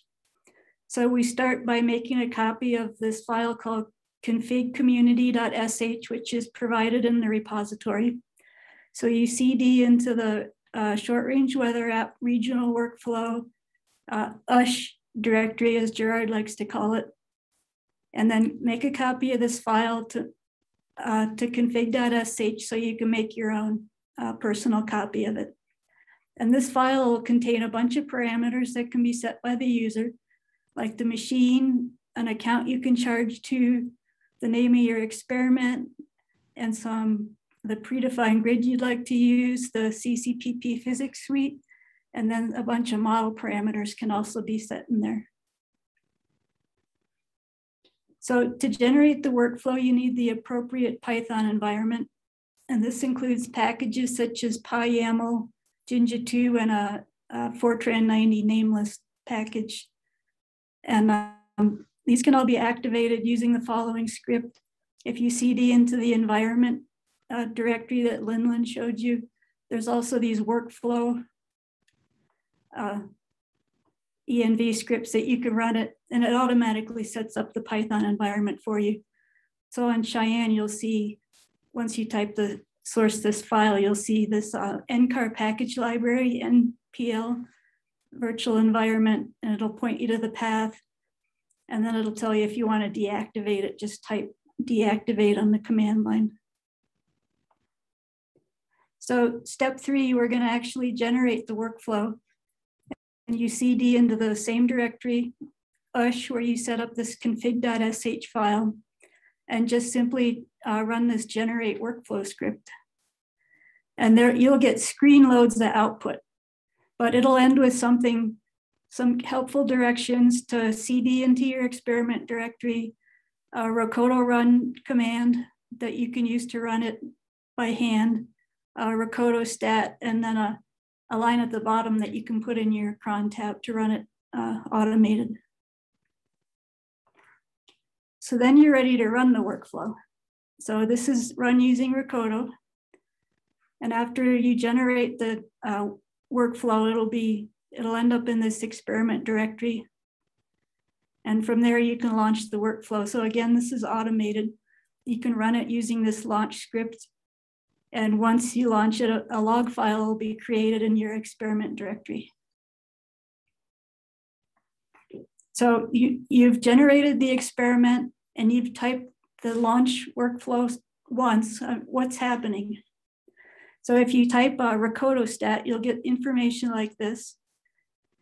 So it's running the workflow and it's also monitoring, monitoring the status of it. So you can see all these tasks have been uh, queued up and the three that have no dependencies are run first. That's the make grid and get the external ICs and LBCs. And you can see right after you uh, type the launch command, it's just sitting there in the queue waiting to be submitted. So running this launch script runs only one instance of Rocoto run and the Rocoto stat commands that look like this. And until the launch script is run again, the workflow will remain in this state. So if you type it once and you go to lunch and you come back, it'll look just like when you left. So there are two options to continue running the workflow. One is to manually launch it using this launch script again, but you'll have to run it many times to complete the workflow, or you can run it via a cron tab. So just to see what's happening, let's run the launch script one more time. And you'll see that these three tasks have uh, advanced from submitted to queued for the make grid and the uh, get external ICs and LBCs have succeeded. So the other option, which I'd highly recommend, is to put your launch script in your cron tab and run it about every three minutes. It looks like this. You can edit your cron tab with this cron tab minus E command. Put this line in your cron tab, save it. And then you can just go back to your experiment directory and type Rocoto stat and keep track of all the tasks progressing. And when the workflow is done, you'll see something like this where all the tasks have succeeded. And he, here's a handy tip for everybody later today. If you notice that the workflow is stuck in one state after modifying your cron tab, but it advances when you type the launch script, there may be a typo in your cron tab. So I would suggest typing cron tab minus E again and checking the path and experiment name in your cron tab file because when it gets stuck, it'll be like queued forever. And that's, that's crazy. So there is additional documentation. Uh, there's documentation on Rocoto at the uh, GitHub site where the code comes from. Uh, UFS Utils also has a read the doc uh, user's guide. The UFS weather model also has a user's guide. And some of these are uh, related to versions that we're using in this uh, short range weather app release. And then the UPP also has a read the docs. And that's all I have. Are there any questions?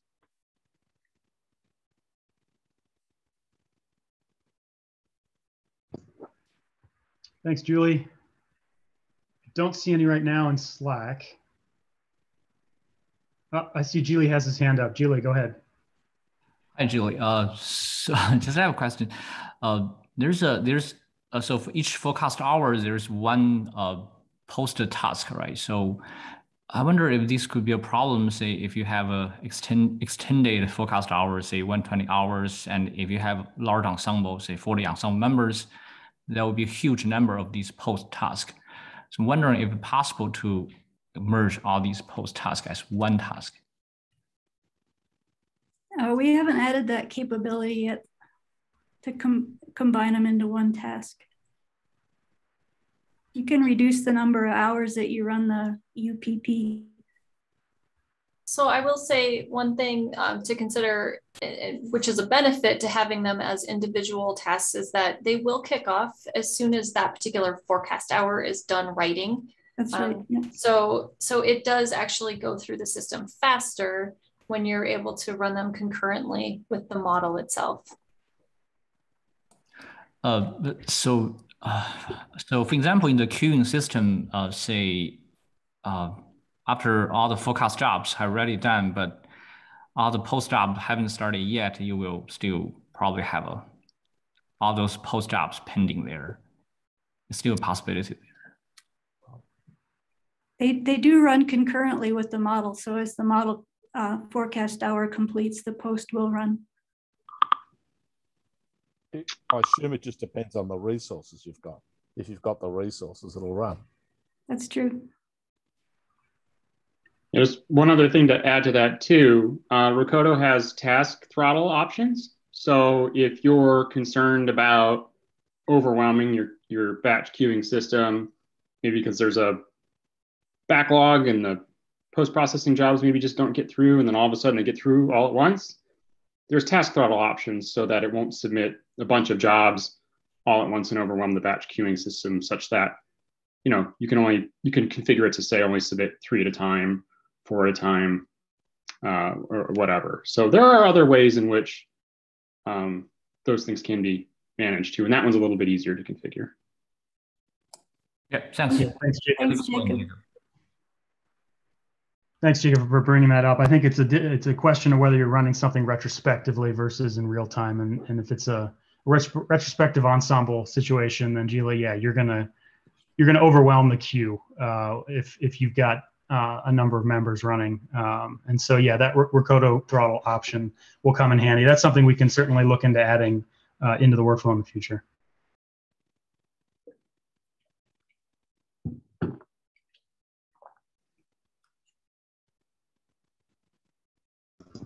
All right, we have one question uh, on Slack from June Park. How much work uh, workload will be put on the login node when a user runs the workflow in Rocoto Manager?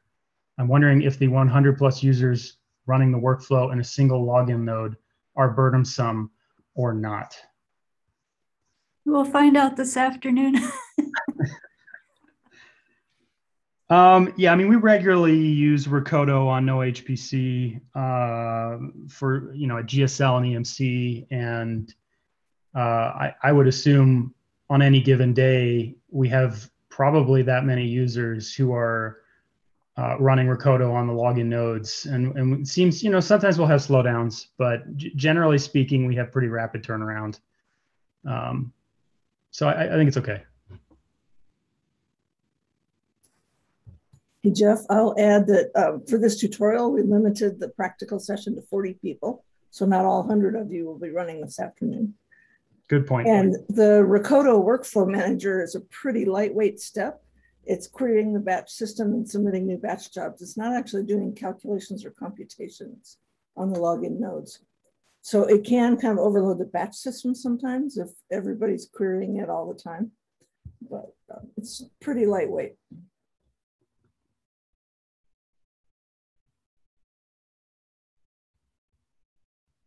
Okay. Uh, we still have 30 minutes scheduled until our lunch break. Uh, so we have plenty of time for, for any other questions that, that people have. Can we do the next talk? Um, well, uh, we, we could, um, it just depends on whether we want to move the lunch or not. Um, I know you're interested in hearing that because it's pretty late where you are. I'm I'm assuming so. Um,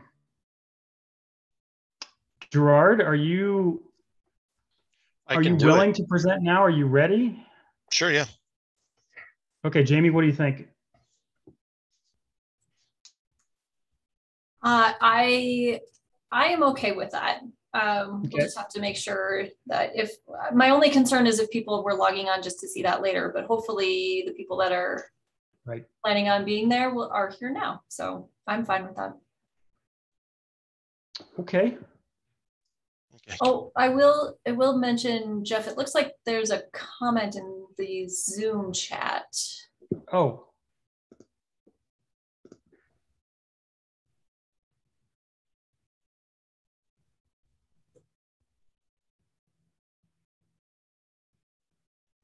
Okay, uh, so yeah, um, asking about uh, the NEMS mediator versus CMEPS. I guess I didn't under I didn't realize that the medium range weather app doesn't use NEMS. Um, yeah, the, the short range weather app does use NEMS. Um, Laurie, can you comment on on that question? Do you see that in your chat? Yeah, I do see that. So my understanding is that the medium range weather app release, which was about two year old code, also used the NEMS mediator. They used the same case control and workflow process, but not CMEPS. And you know, it's absolutely true that the UFS weather model has moved on to CMEPS for its coupling work. So both of these apps are a little bit out of date in that respect. Okay, thank you.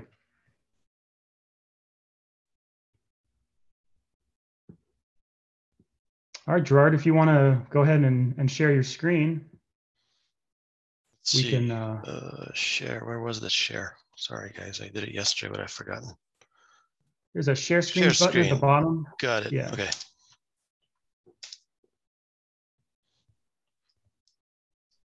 Okay, view full screen. Does that look okay? Looks great. Okay. Oh, hold on. I should. Uh, sorry.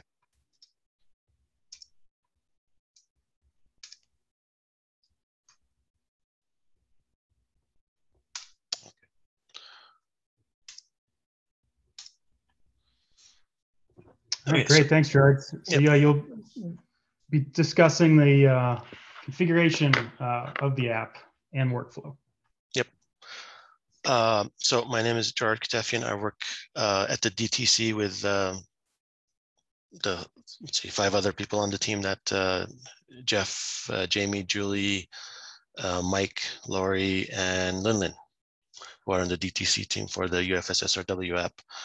Um, and um, all right, let's get discussing.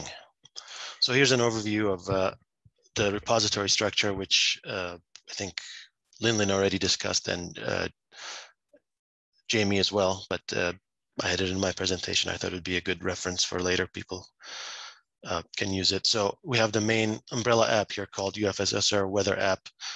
Um, and then it uses this thing called Manage Externals from NCAR to get the other direct uh, dependencies that it has. Regional Workflow, which has uh, all the scripts for running the workflow.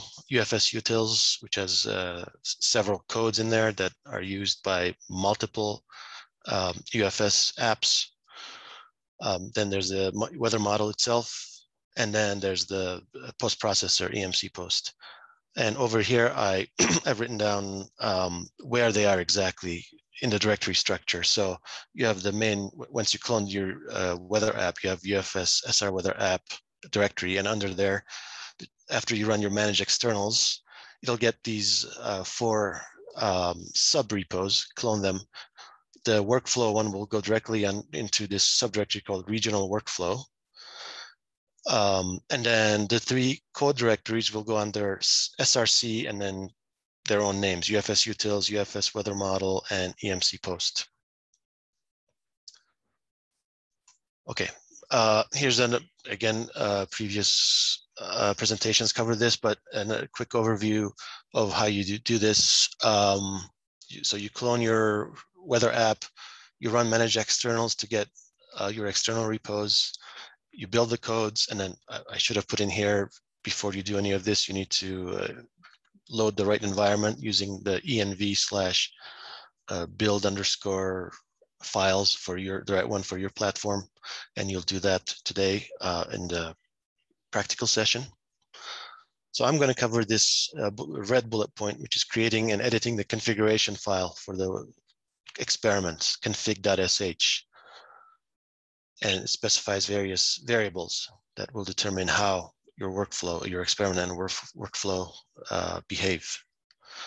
We do have a couple of uh, small examples provided in regional workflow in, the, in that repo. Uh, these are two files called config.community.sh and config.nco.sh, and I'll discuss the difference between community and NCO modes uh, a little bit later.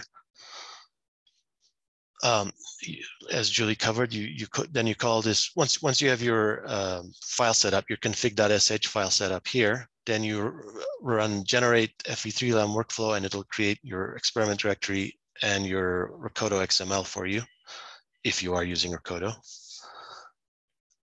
And um, you can, to get your experiment going, you have to run either Rocoto run over and over again on your XML file, uh, and then use Rocoto stat to look at the status, or you can run this uh, launch FV3 lam workflow uh, script over and over again.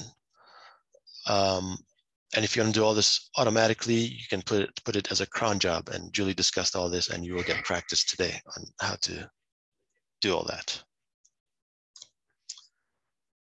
Okay, so what's happening during the generation step is that you have this uh, script called generate FV3 lam workflow.sh uh, that reads in, um, as far as we're concerned here, uh, config defaults.sh, which is uh, a set of well, it defines the workflow variables that you can change if you want to and, and sets default values to them.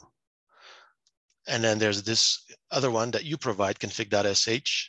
The user provides it. And those are the customizations. And whatever you don't customize, uh, it, it'll either keep the value in config defaults or it'll somehow find another default value for it, depending on what the variable is. And the output is this experiment directory. And the name of the directory is something that you specify in your configuration file as well a bunch of other things, but the one I want to focus on here is this file called var definitions.sh. And all this is, is a, in the syntax of the bash, just a set of uh, variable definitions that, that, that's, that are like, um, that are both things that you specified in your configuration file and a bunch of other variables that are there for convenience uh, that uh, specify how your experiments and workflow is going to behave. And this script is uh, sourced by the workflow scripts so that every, every workflow task has access to the same set of variables, your experiment variables. And here's a diagram of the workflow tasks. Um,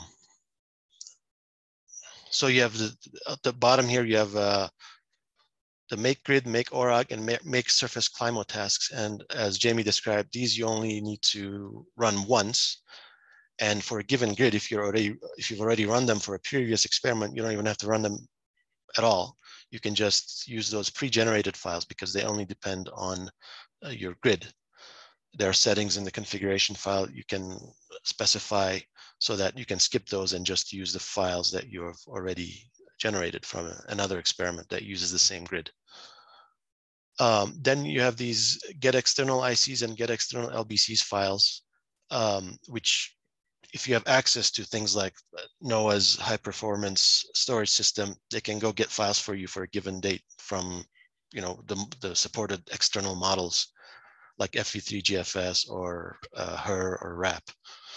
Uh, or if you don't have that, uh, you'll have to specify where on the file system those can be found because you have to somehow provide those files. So it'll point to those if you've provided them, if you've staged them somewhere. Um, and then those feed into these make ICs and make LBCs tasks, which make the initial conditions and surface conditions, this make ICs task. And the make LBCs task will create boundary conditions for every forecast hour at which uh, you want to specify boundary conditions, the lateral boundary conditions for your regional grid. Once those are all done, then uh, you can launch the run forecast task. And once that's done, you can do your uh, post-processing. All right. So there are two sets of, uh, two groups of experiment variables, uh, the way I think of it, at least the way um, yeah, in my mind, the way this is the big the picture of the variables. There are primary variables that you can specify in your config.sh file. And these are the ones that are defined and assigned initial values in this config defaults.sh file. And in your in your config.sh file, you specify a subset of these. You don't have to specify all of them. Most or many of the default values that are in the default file are fine um, and if you don't specify, yeah, like I said, if you don't specify them in your config.sh file, they will get, they will either remain set to their initial values or, or they will get reset during the experiment generation step uh, to a value that depends on some of the other variables. So here's an example. If you haven't specified this Q default variable, which is uh, specifies, you know, if you have a job scheduler, there'll be a queue that you have to specify to go to, to, to send your jobs to. And if you, if you haven't specified that, then uh, the experiment generation scripts will go and look at what machine you're on. And depending on the machine, will specify a default queue for you.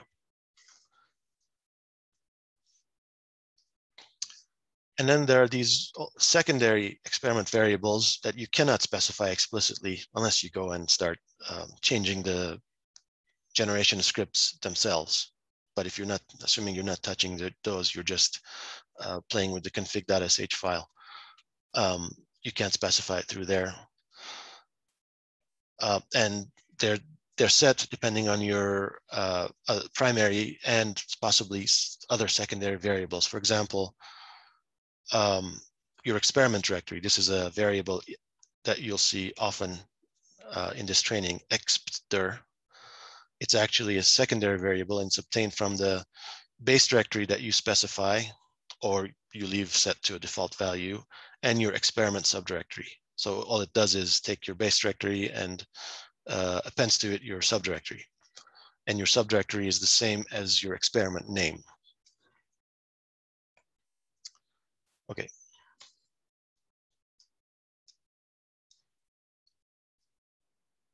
Um, as I described earlier, both of these sets of variables are combined and placed in this file called var definitions.sh for your specific experiment. And that is uh, included in the top level of your experiment directory. And all the workflow task scripts source this file, and it, this doesn't change during your experiment, so that all of them are using the same set of uh, experiment variables. It's a global variable definitions file.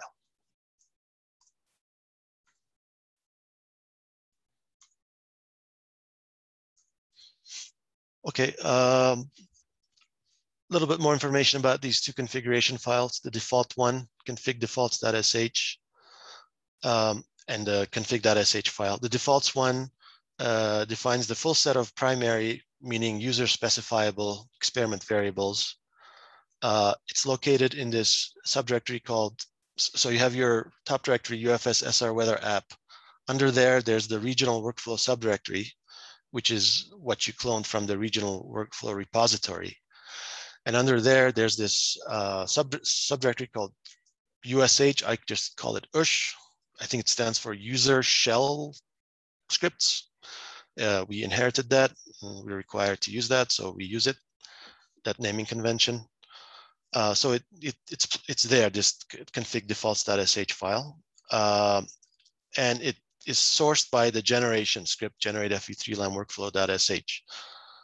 Um, and actually, if you want documentation, this is a good place to get it, the config defaults.sh. Whenever we put a new variable in there, we define what it is and how to use it. So this is the, if you're in, if you're just looking in the code, that's that's the best place to, to look for the documentation.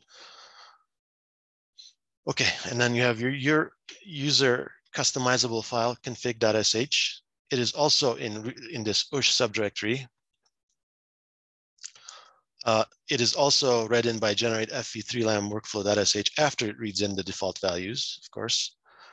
Um, and you can't just use it as a shell script because we wanted to, we didn't want it to be a shell script. We wanted it to be more like a configuration file. So you can't just like go around defining whatever variable you want and then uh, do, do shell coding in there. So if it sees lines that are not just definitions or redefinitions of the, the variables in the defaults directory, it'll, it'll tell you and it'll quit out. Okay. So now I'm going to go through some of the configuration variables. And I, and I group these uh, in terms of uh, like topic, let's say that. Uh, first, one thing that uh, everyone should know about is the experiment mode that we have. So because this, this workflow needs to be usable by both the by both researchers and operational uh, setting, um, we created this, this thing called the mode of the experiment that determines the directory structure of the experiment. If you're researchers, you, you just want to have all your files under one directory and you want to look at them in detail and maybe you're interested in, you know, various aspects of it. Um, so that's why it, in that mode, it groups all, all your files, input, output, everything in one directory. It's called your experiment directory. In operational mode, um, oftentimes you're just interested in the output, say from UPP. Um, and in that case, you don't want to keep all the workflow after you're done with it. You know, you don't want to keep the workflow files, the intermediate files, and so on.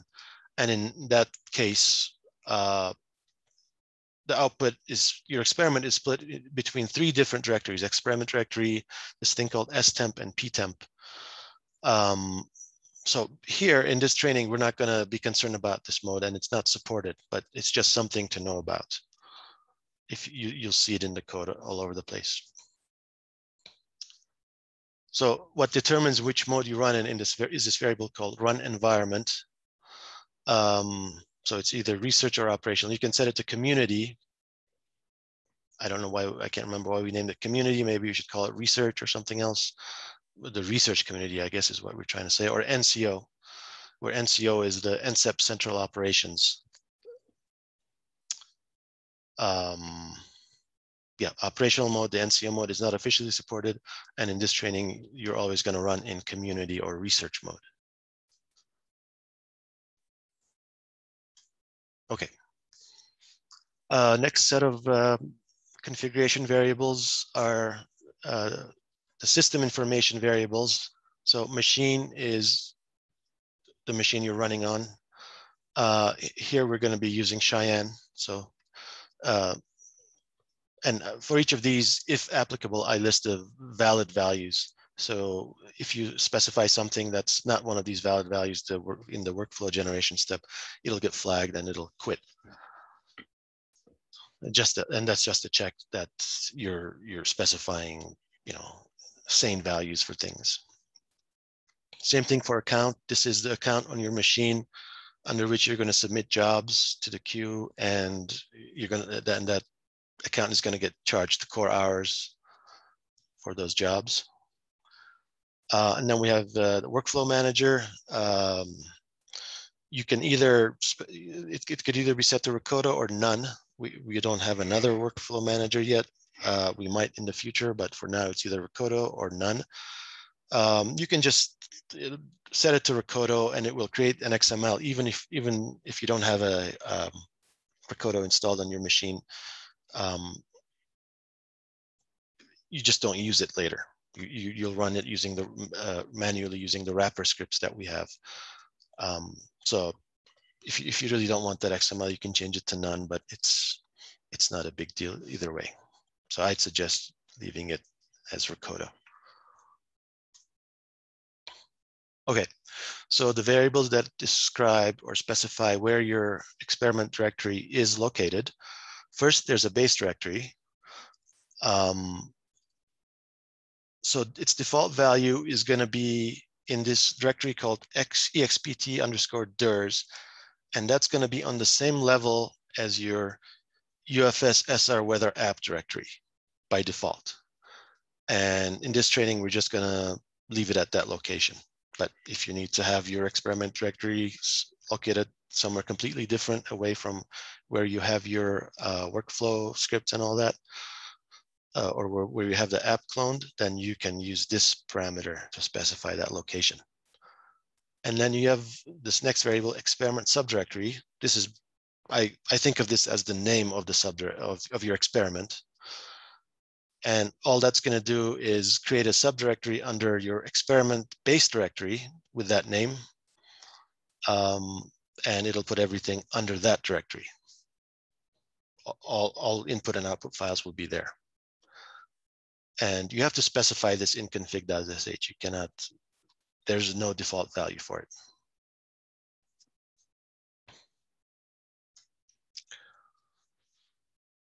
Okay, uh, how do you specify the forecast dates and hours and the length of the forecast? It's these variables, date first cycle, date last cycle. Um, so this, so in general, you can run multiple forecasts. They're called cycles. Um, and, and these are specifying the, the starting date of the first cycle and the starting date of the last cycle. It, it's it's not the starting and ending date of a single forecast. It's they're they're both starting dates of forecasts. Just to be clear about that. Um, and if you're just running one forecast, uh, you, you set them to the same thing. And they need to be eight digit strings of the form uh, a four digit year, a two digit month, and a two digit year. It does not include the hour. The hours are specified in the next variable called cycle hours right here. It's an array, so you can have uh, any number between 0, 0 and 23, and multiple of them. If you're, for example, want to do hour 0 and hour 6, you would have an array uh, for 0, 0, and then the next element would be 0, 6. Uh, forecast length is just uh, the length of each forecast in hours. All the forecasts currently that you do in your experiment are the same length, although uh, we will be changing that in the develop branch in the future to give more flexibility, as well as probably uh, include a um, an interval in, in, in days so that if you don't like if you're going from first cycle date first cycle to that date last cycle it'll the default interval is one day. So all days between those two dates will be run. But if you want to do like every three day or something we need we'll uh, we don't have it yet, but we will, in the develop branch, add um, a parameter for that.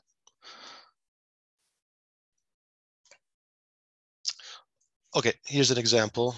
Uh, let's say you specify in your config.sh file these settings. Date of your first cycle is 2021, uh, June 1st. Your last cycle is 2021, uh, June 15th.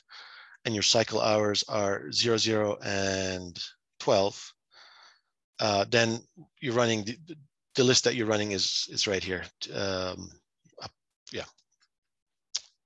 So you're running a total of uh, 30 forecasts if you do this, two per day, and each one is 36 hours long. Okay, next group of variables are the grid variables. Um, in this training, we're not going to do custom grids. So we're going to stick with the predefined grids that are in the app. And you specify which one that can be uh, using this variable, predefined grid name. And the supported values for the release are these three CONUS grids. One is a 25 kilometer grid, the other one 13, and then the last one is the finest three kilometer grid. So you have to specify, um, well, actually, no, the default, there's a default value, which is, I believe, the 25 kilometer grid. But anyway, you, you specify this in, again in your config.sh, unless you're doing a custom grid, and we're going to discuss that, uh, how to do that tomorrow. Um, and okay, so the next one is the physics suite that you want to use. Um, it's this variable, CCPP physics suite. The valid values are FV3GFS version 15.2 uh, or RRFS v1 alpha. And the default value is GFS 15.2. And there'll be more discussion of that uh, in other presentations in the next few days. Okay, next group of variables are the external the ones that specify what external model to use for generating your initial and boundary conditions. Uh, so there's one, this one for ICs, initial conditions is called external model name ICs, and then the one for uh, lateral boundary conditions ends with LBCs. And there are a lot of variables like that. One is for ICs, one's for LBCs. You'll see that, you'll see that all over the place. So the valid values for these are GSM GFS, which is the old GFS, the spectral GFS, then FV3 GFS, uh, the FV3 based one newer. Then we have RAP, HRRR, and NAM as well. And these are regional models.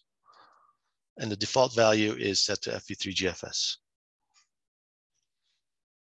Uh, next one is the interval with which to specify your boundary conditions. So your lateral boundary conditions, you know, you can specify every three hours if that data is available, or every six hours, every one hour if you have that kind of time resolution. Um, default value is six. Um, but for example, if you set it to three, as I described here, then uh, the this the, the external get external LBCs task is going to try to look for files that match the, those forecast hours starting with hour three, then hour six, then hour nine, and so on. Hour zero is always done as part of the initial conditions, just so you know that one. As well as um, the surface uh, parameters, surface fields are also uh, created during the initial conditions generation, not in the boundary conditions. Okay, and then uh, this one, FV3GFS file format uh, for ICs and LBCs. So uh, for FV3GFS, there are two file formats supported, NEMS.io and GRIB2. Um, so if, depending on which one you, you want to use, uh, you can specify which one the default is NEMS.io. But these days, uh, NEMS.io is no longer being used. I believe everything has switched over to NetCDF or GRIB2. So, um, but there's a bunch of um, data in in storage that is NEMS.io. So we need to have that if you're doing uh, retrospectives. Okay. Then uh, this is a set of variables that specify how you or how to get the, let's see, that specify that you're using user staged external model data. So the first one is this uh, use user staged external model files, just a true or false flag. And if you set it to true, it means um, there's a directory that the workflow should look in to find your uh, external model files from which to generate initial and boundary conditions. The default value is false, but uh, here we're always gonna, in this training, we're gonna reset it to, tr to true.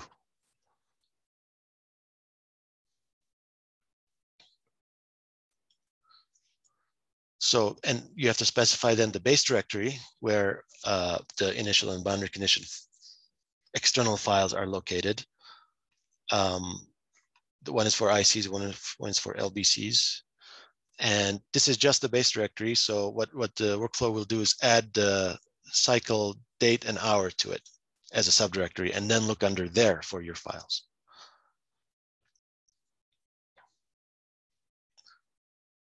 And then uh, you have to actually name the, the, files, whatever you want to call them. Uh, these are two arrays, external model files for ICs and external model files for LBCs. So uh, let's look at an example of how you put all these together.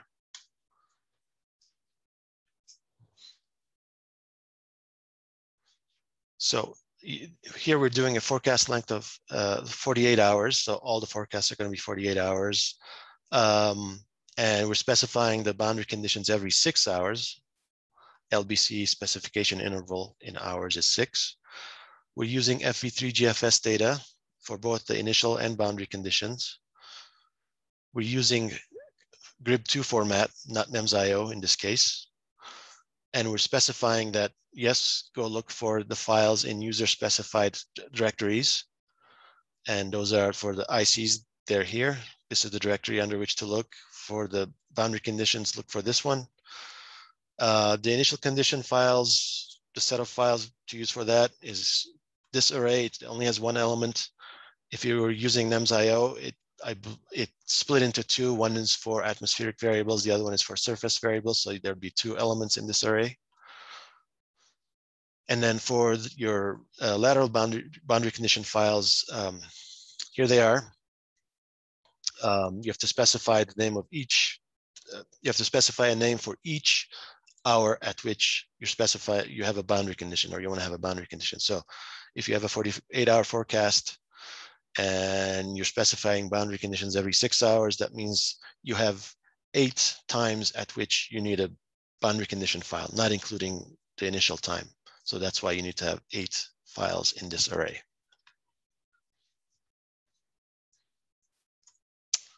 Okay. So uh, as I mentioned earlier, if you have a, the, grid orography and surface climatology files, uh, they depend only on the grid and that's why they're called fixed files. Uh, they're static. So if you've generated these once for an experiment and you're using that same grid for uh, subsequent experiments, then you don't need to do those steps over and over again they're not, they don't take long, but still there's kind of a wait. So what you can do is turn off those tasks using these run task make grid or run task make orog or run task make surface CLIMO variables. You, you set them to false. Default value is true. So you set them to false. And if you do that, you have to specify to the workflow where to find the grid files, the pre-generated grid files. Uh, so, and you just set that there.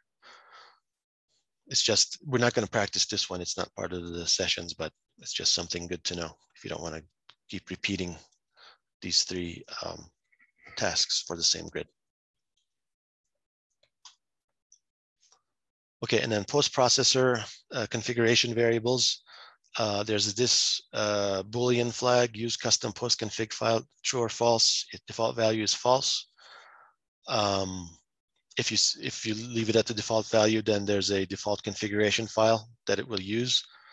Otherwise, you have to specify the full path to your custom configuration file using this variable, custom post config FP. FP stands for full path or file path, so it's a full path. Sometimes you'll see FN, which is which would stand for file name. That would just be the file name, but in this case, FP, so it's the whole full path. Okay, some miscellaneous variables. Uh, pre-existing directory method. So a lot of times you'll run the same, um, you'll tweak something, I'll run the same experiment again and again and again. So this specifies what to do if there's a previous subdirectory of the same name in your uh, base experiments directory. Uh, you can you can delete if one exists, just delete it, rename it, or have the work or the exper have the work no experiment generation script quit out and say, well, I don't know what to do. Uh, I usually set it to rename because I like to make backup copies and then later on come back and once I'm done, fix my bug or whatever, delete all the uh, backup files, but up to you how you want to deal with that. Then, uh, as Julie discussed a bit, uh, how do you uh, automate uh, relaunching of your workflow? There's this variable called use cron to relaunch, and it's either true or false. And what it will do if you set it to true is it'll go into your cron table and put in an entry there, a job, uh, that calls this launch script, launch FV3LAM workflow every however many minutes you want. And those minutes are specified by this next variable called cron relaunch interval in minutes. Uh, default values every three minutes. Um, you can change that.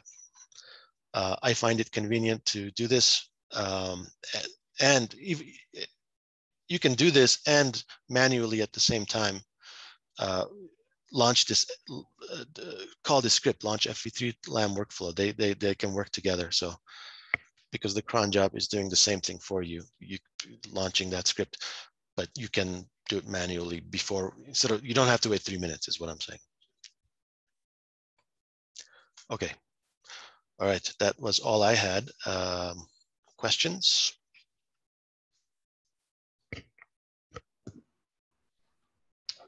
Thanks, Gerard. Um, there have been a couple questions in Slack, which I've tried to respond to, but we can we can discuss them here. There was a question about NetCDF uh, file support for FV3GFS, and yes, that does exist. Um, so you can use either NEMS.io, GRIB2, or NetCDF files for the regional external model data. Um, you'll need to use uh, GRIB2, however. Um,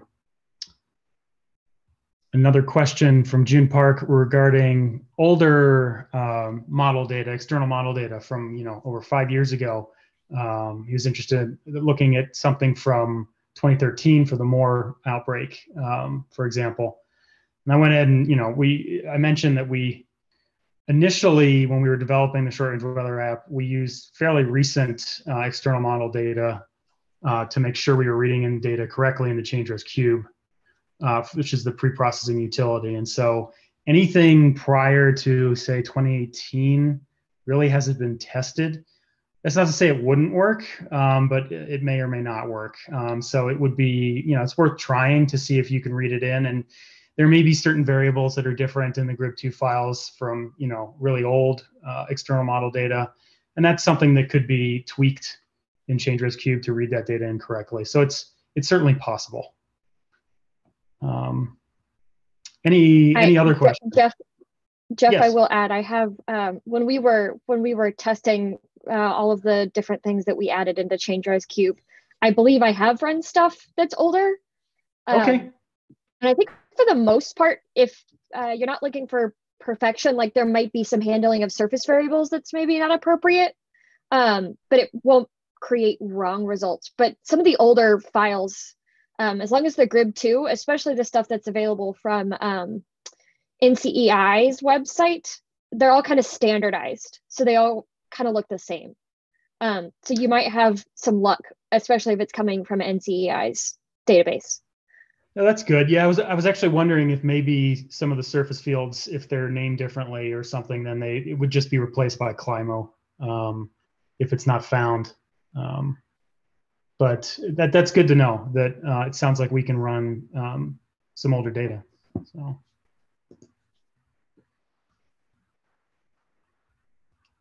So question in chat, how do we handle the new GFS grid versions? You need to update the V table or something like that when new GFS is released.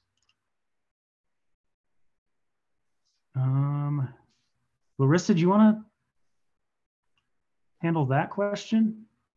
I'm not sure what where where was that question at? Oh, it's in the chat. It's in the um, yeah, it's in the chat there. Uh, so if it's if we're talking about the grid that the input data is actually on, um, that information is read straight from the metadata and the variables themselves in the input data. So um, the grid that the input data is on shouldn't cause any changes because ChangeRes doesn't make assumptions about the data um, based on um, what you, you know, if you tell it it's GFS data, it doesn't make some sort of assumption about what grid it thinks it on, it's on, since we know that, you know, GFS, you can get it on 25 kilometer or 12, kilo- you know, there's all kinds of uh, grids that it's available on. So it doesn't make those kinds of assumptions. So when when there's an update to a variable and the V table is modified, does ChangeRes need to read in that V table, or does it does it need to be modified in the in the source code?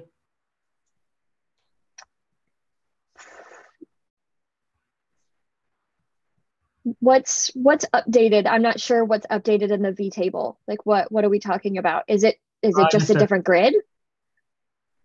I'm not sure if he's referring to that or or referring to a variable change or an addition of a variable. So I mean, what's happened in past years is that the GFS starts outputting a different variable name for something like, you know, surface soil moisture or something. And it changes the name and the metadata so that um, your input processing has to recognize that new variable. In WRF, that's a V table, but I don't think it is in ChangeRes Cube. I'm not sure where that happens. um in ChangeRes, it uh we do make assumptions about the standard names of variables since those are generally governed by the WMO's GRIB2 file, you know, the, the tables. Um, we haven't had problems with surface variable names changing so much as tracer names changing. Yeah, that was just off the top Um, of my head a couple of years ago. I think GFS 7, 2017. Yeah, I think changed something and all of a sudden none of the pre-processing would work anymore because it couldn't find the variable in the GRIB file that it wanted to map into a model variable. Yeah, I think So I think if here. some, i- yeah, if Sorry, some name does change, if some name does change that um, does cause problems, we'll have to address that. Usually, we've been able to just you know add in an extra if statement somewhere to offer the ability to look for that other variable. Um, but we uh, that that can be done without you know a minor bug fix release that won't take very long at all to get into the develop branch. Yeah, so if it's a modification or a deviation from the GRIB2 tables, um, standard tables, then yeah, it definitely has to go into the source code as a branch. And we do have quite a few of those in there to handle different versions uh, of the regional models in particular. Um, so we would just need to, to modify it that way, sounds like.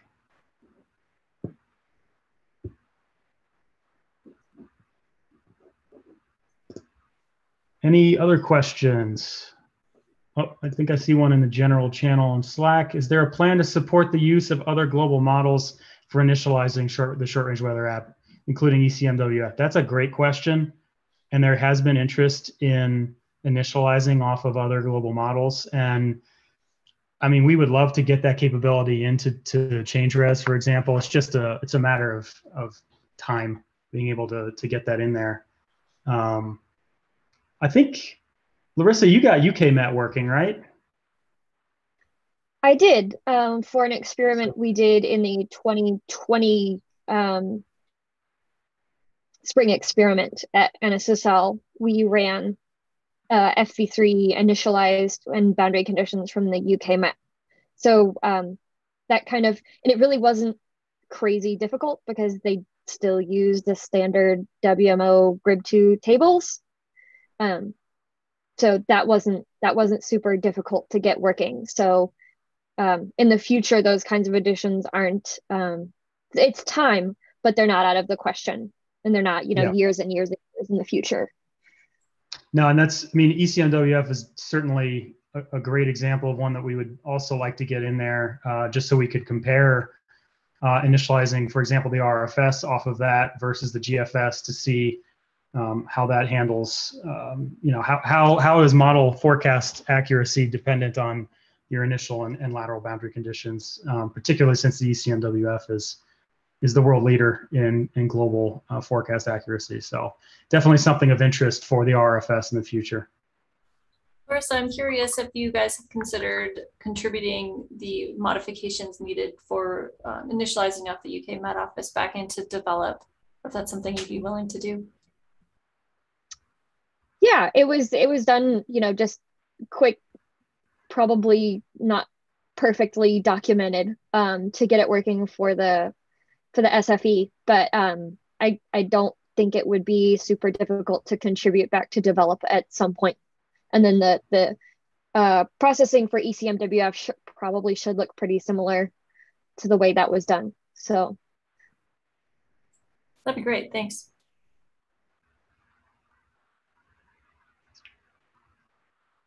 Any other questions? If not, um, thank you, Gerard, for that uh, thorough overview. That's a great look at, at how we can configure the workflow. Hopefully that was very useful and informative uh, to everyone here. And, and I'd like to thank all of our speakers um, today, since this is actually the last one before the practical session, um, for your presentations. We appreciate your work uh, that you, that's gone into that. And we'll um, break until 1.15 Mountain Time, at which point, or 1.30, uh, we'll, we'll uh, join back for the practical session. So this will only be the 40 participants who are um, going to be uh, attending the practical session. Uh, for the rest of the participants that are here, uh, we'll reconvene tomorrow at 9 a.m. Uh, but for those of you who will be continuing this afternoon in the practical session, you should all have a calendar invite for a Zoom meeting. Um, and uh, we will see you all uh, around 1.15 Mountain Time this afternoon after our lunch break right now. So thanks again.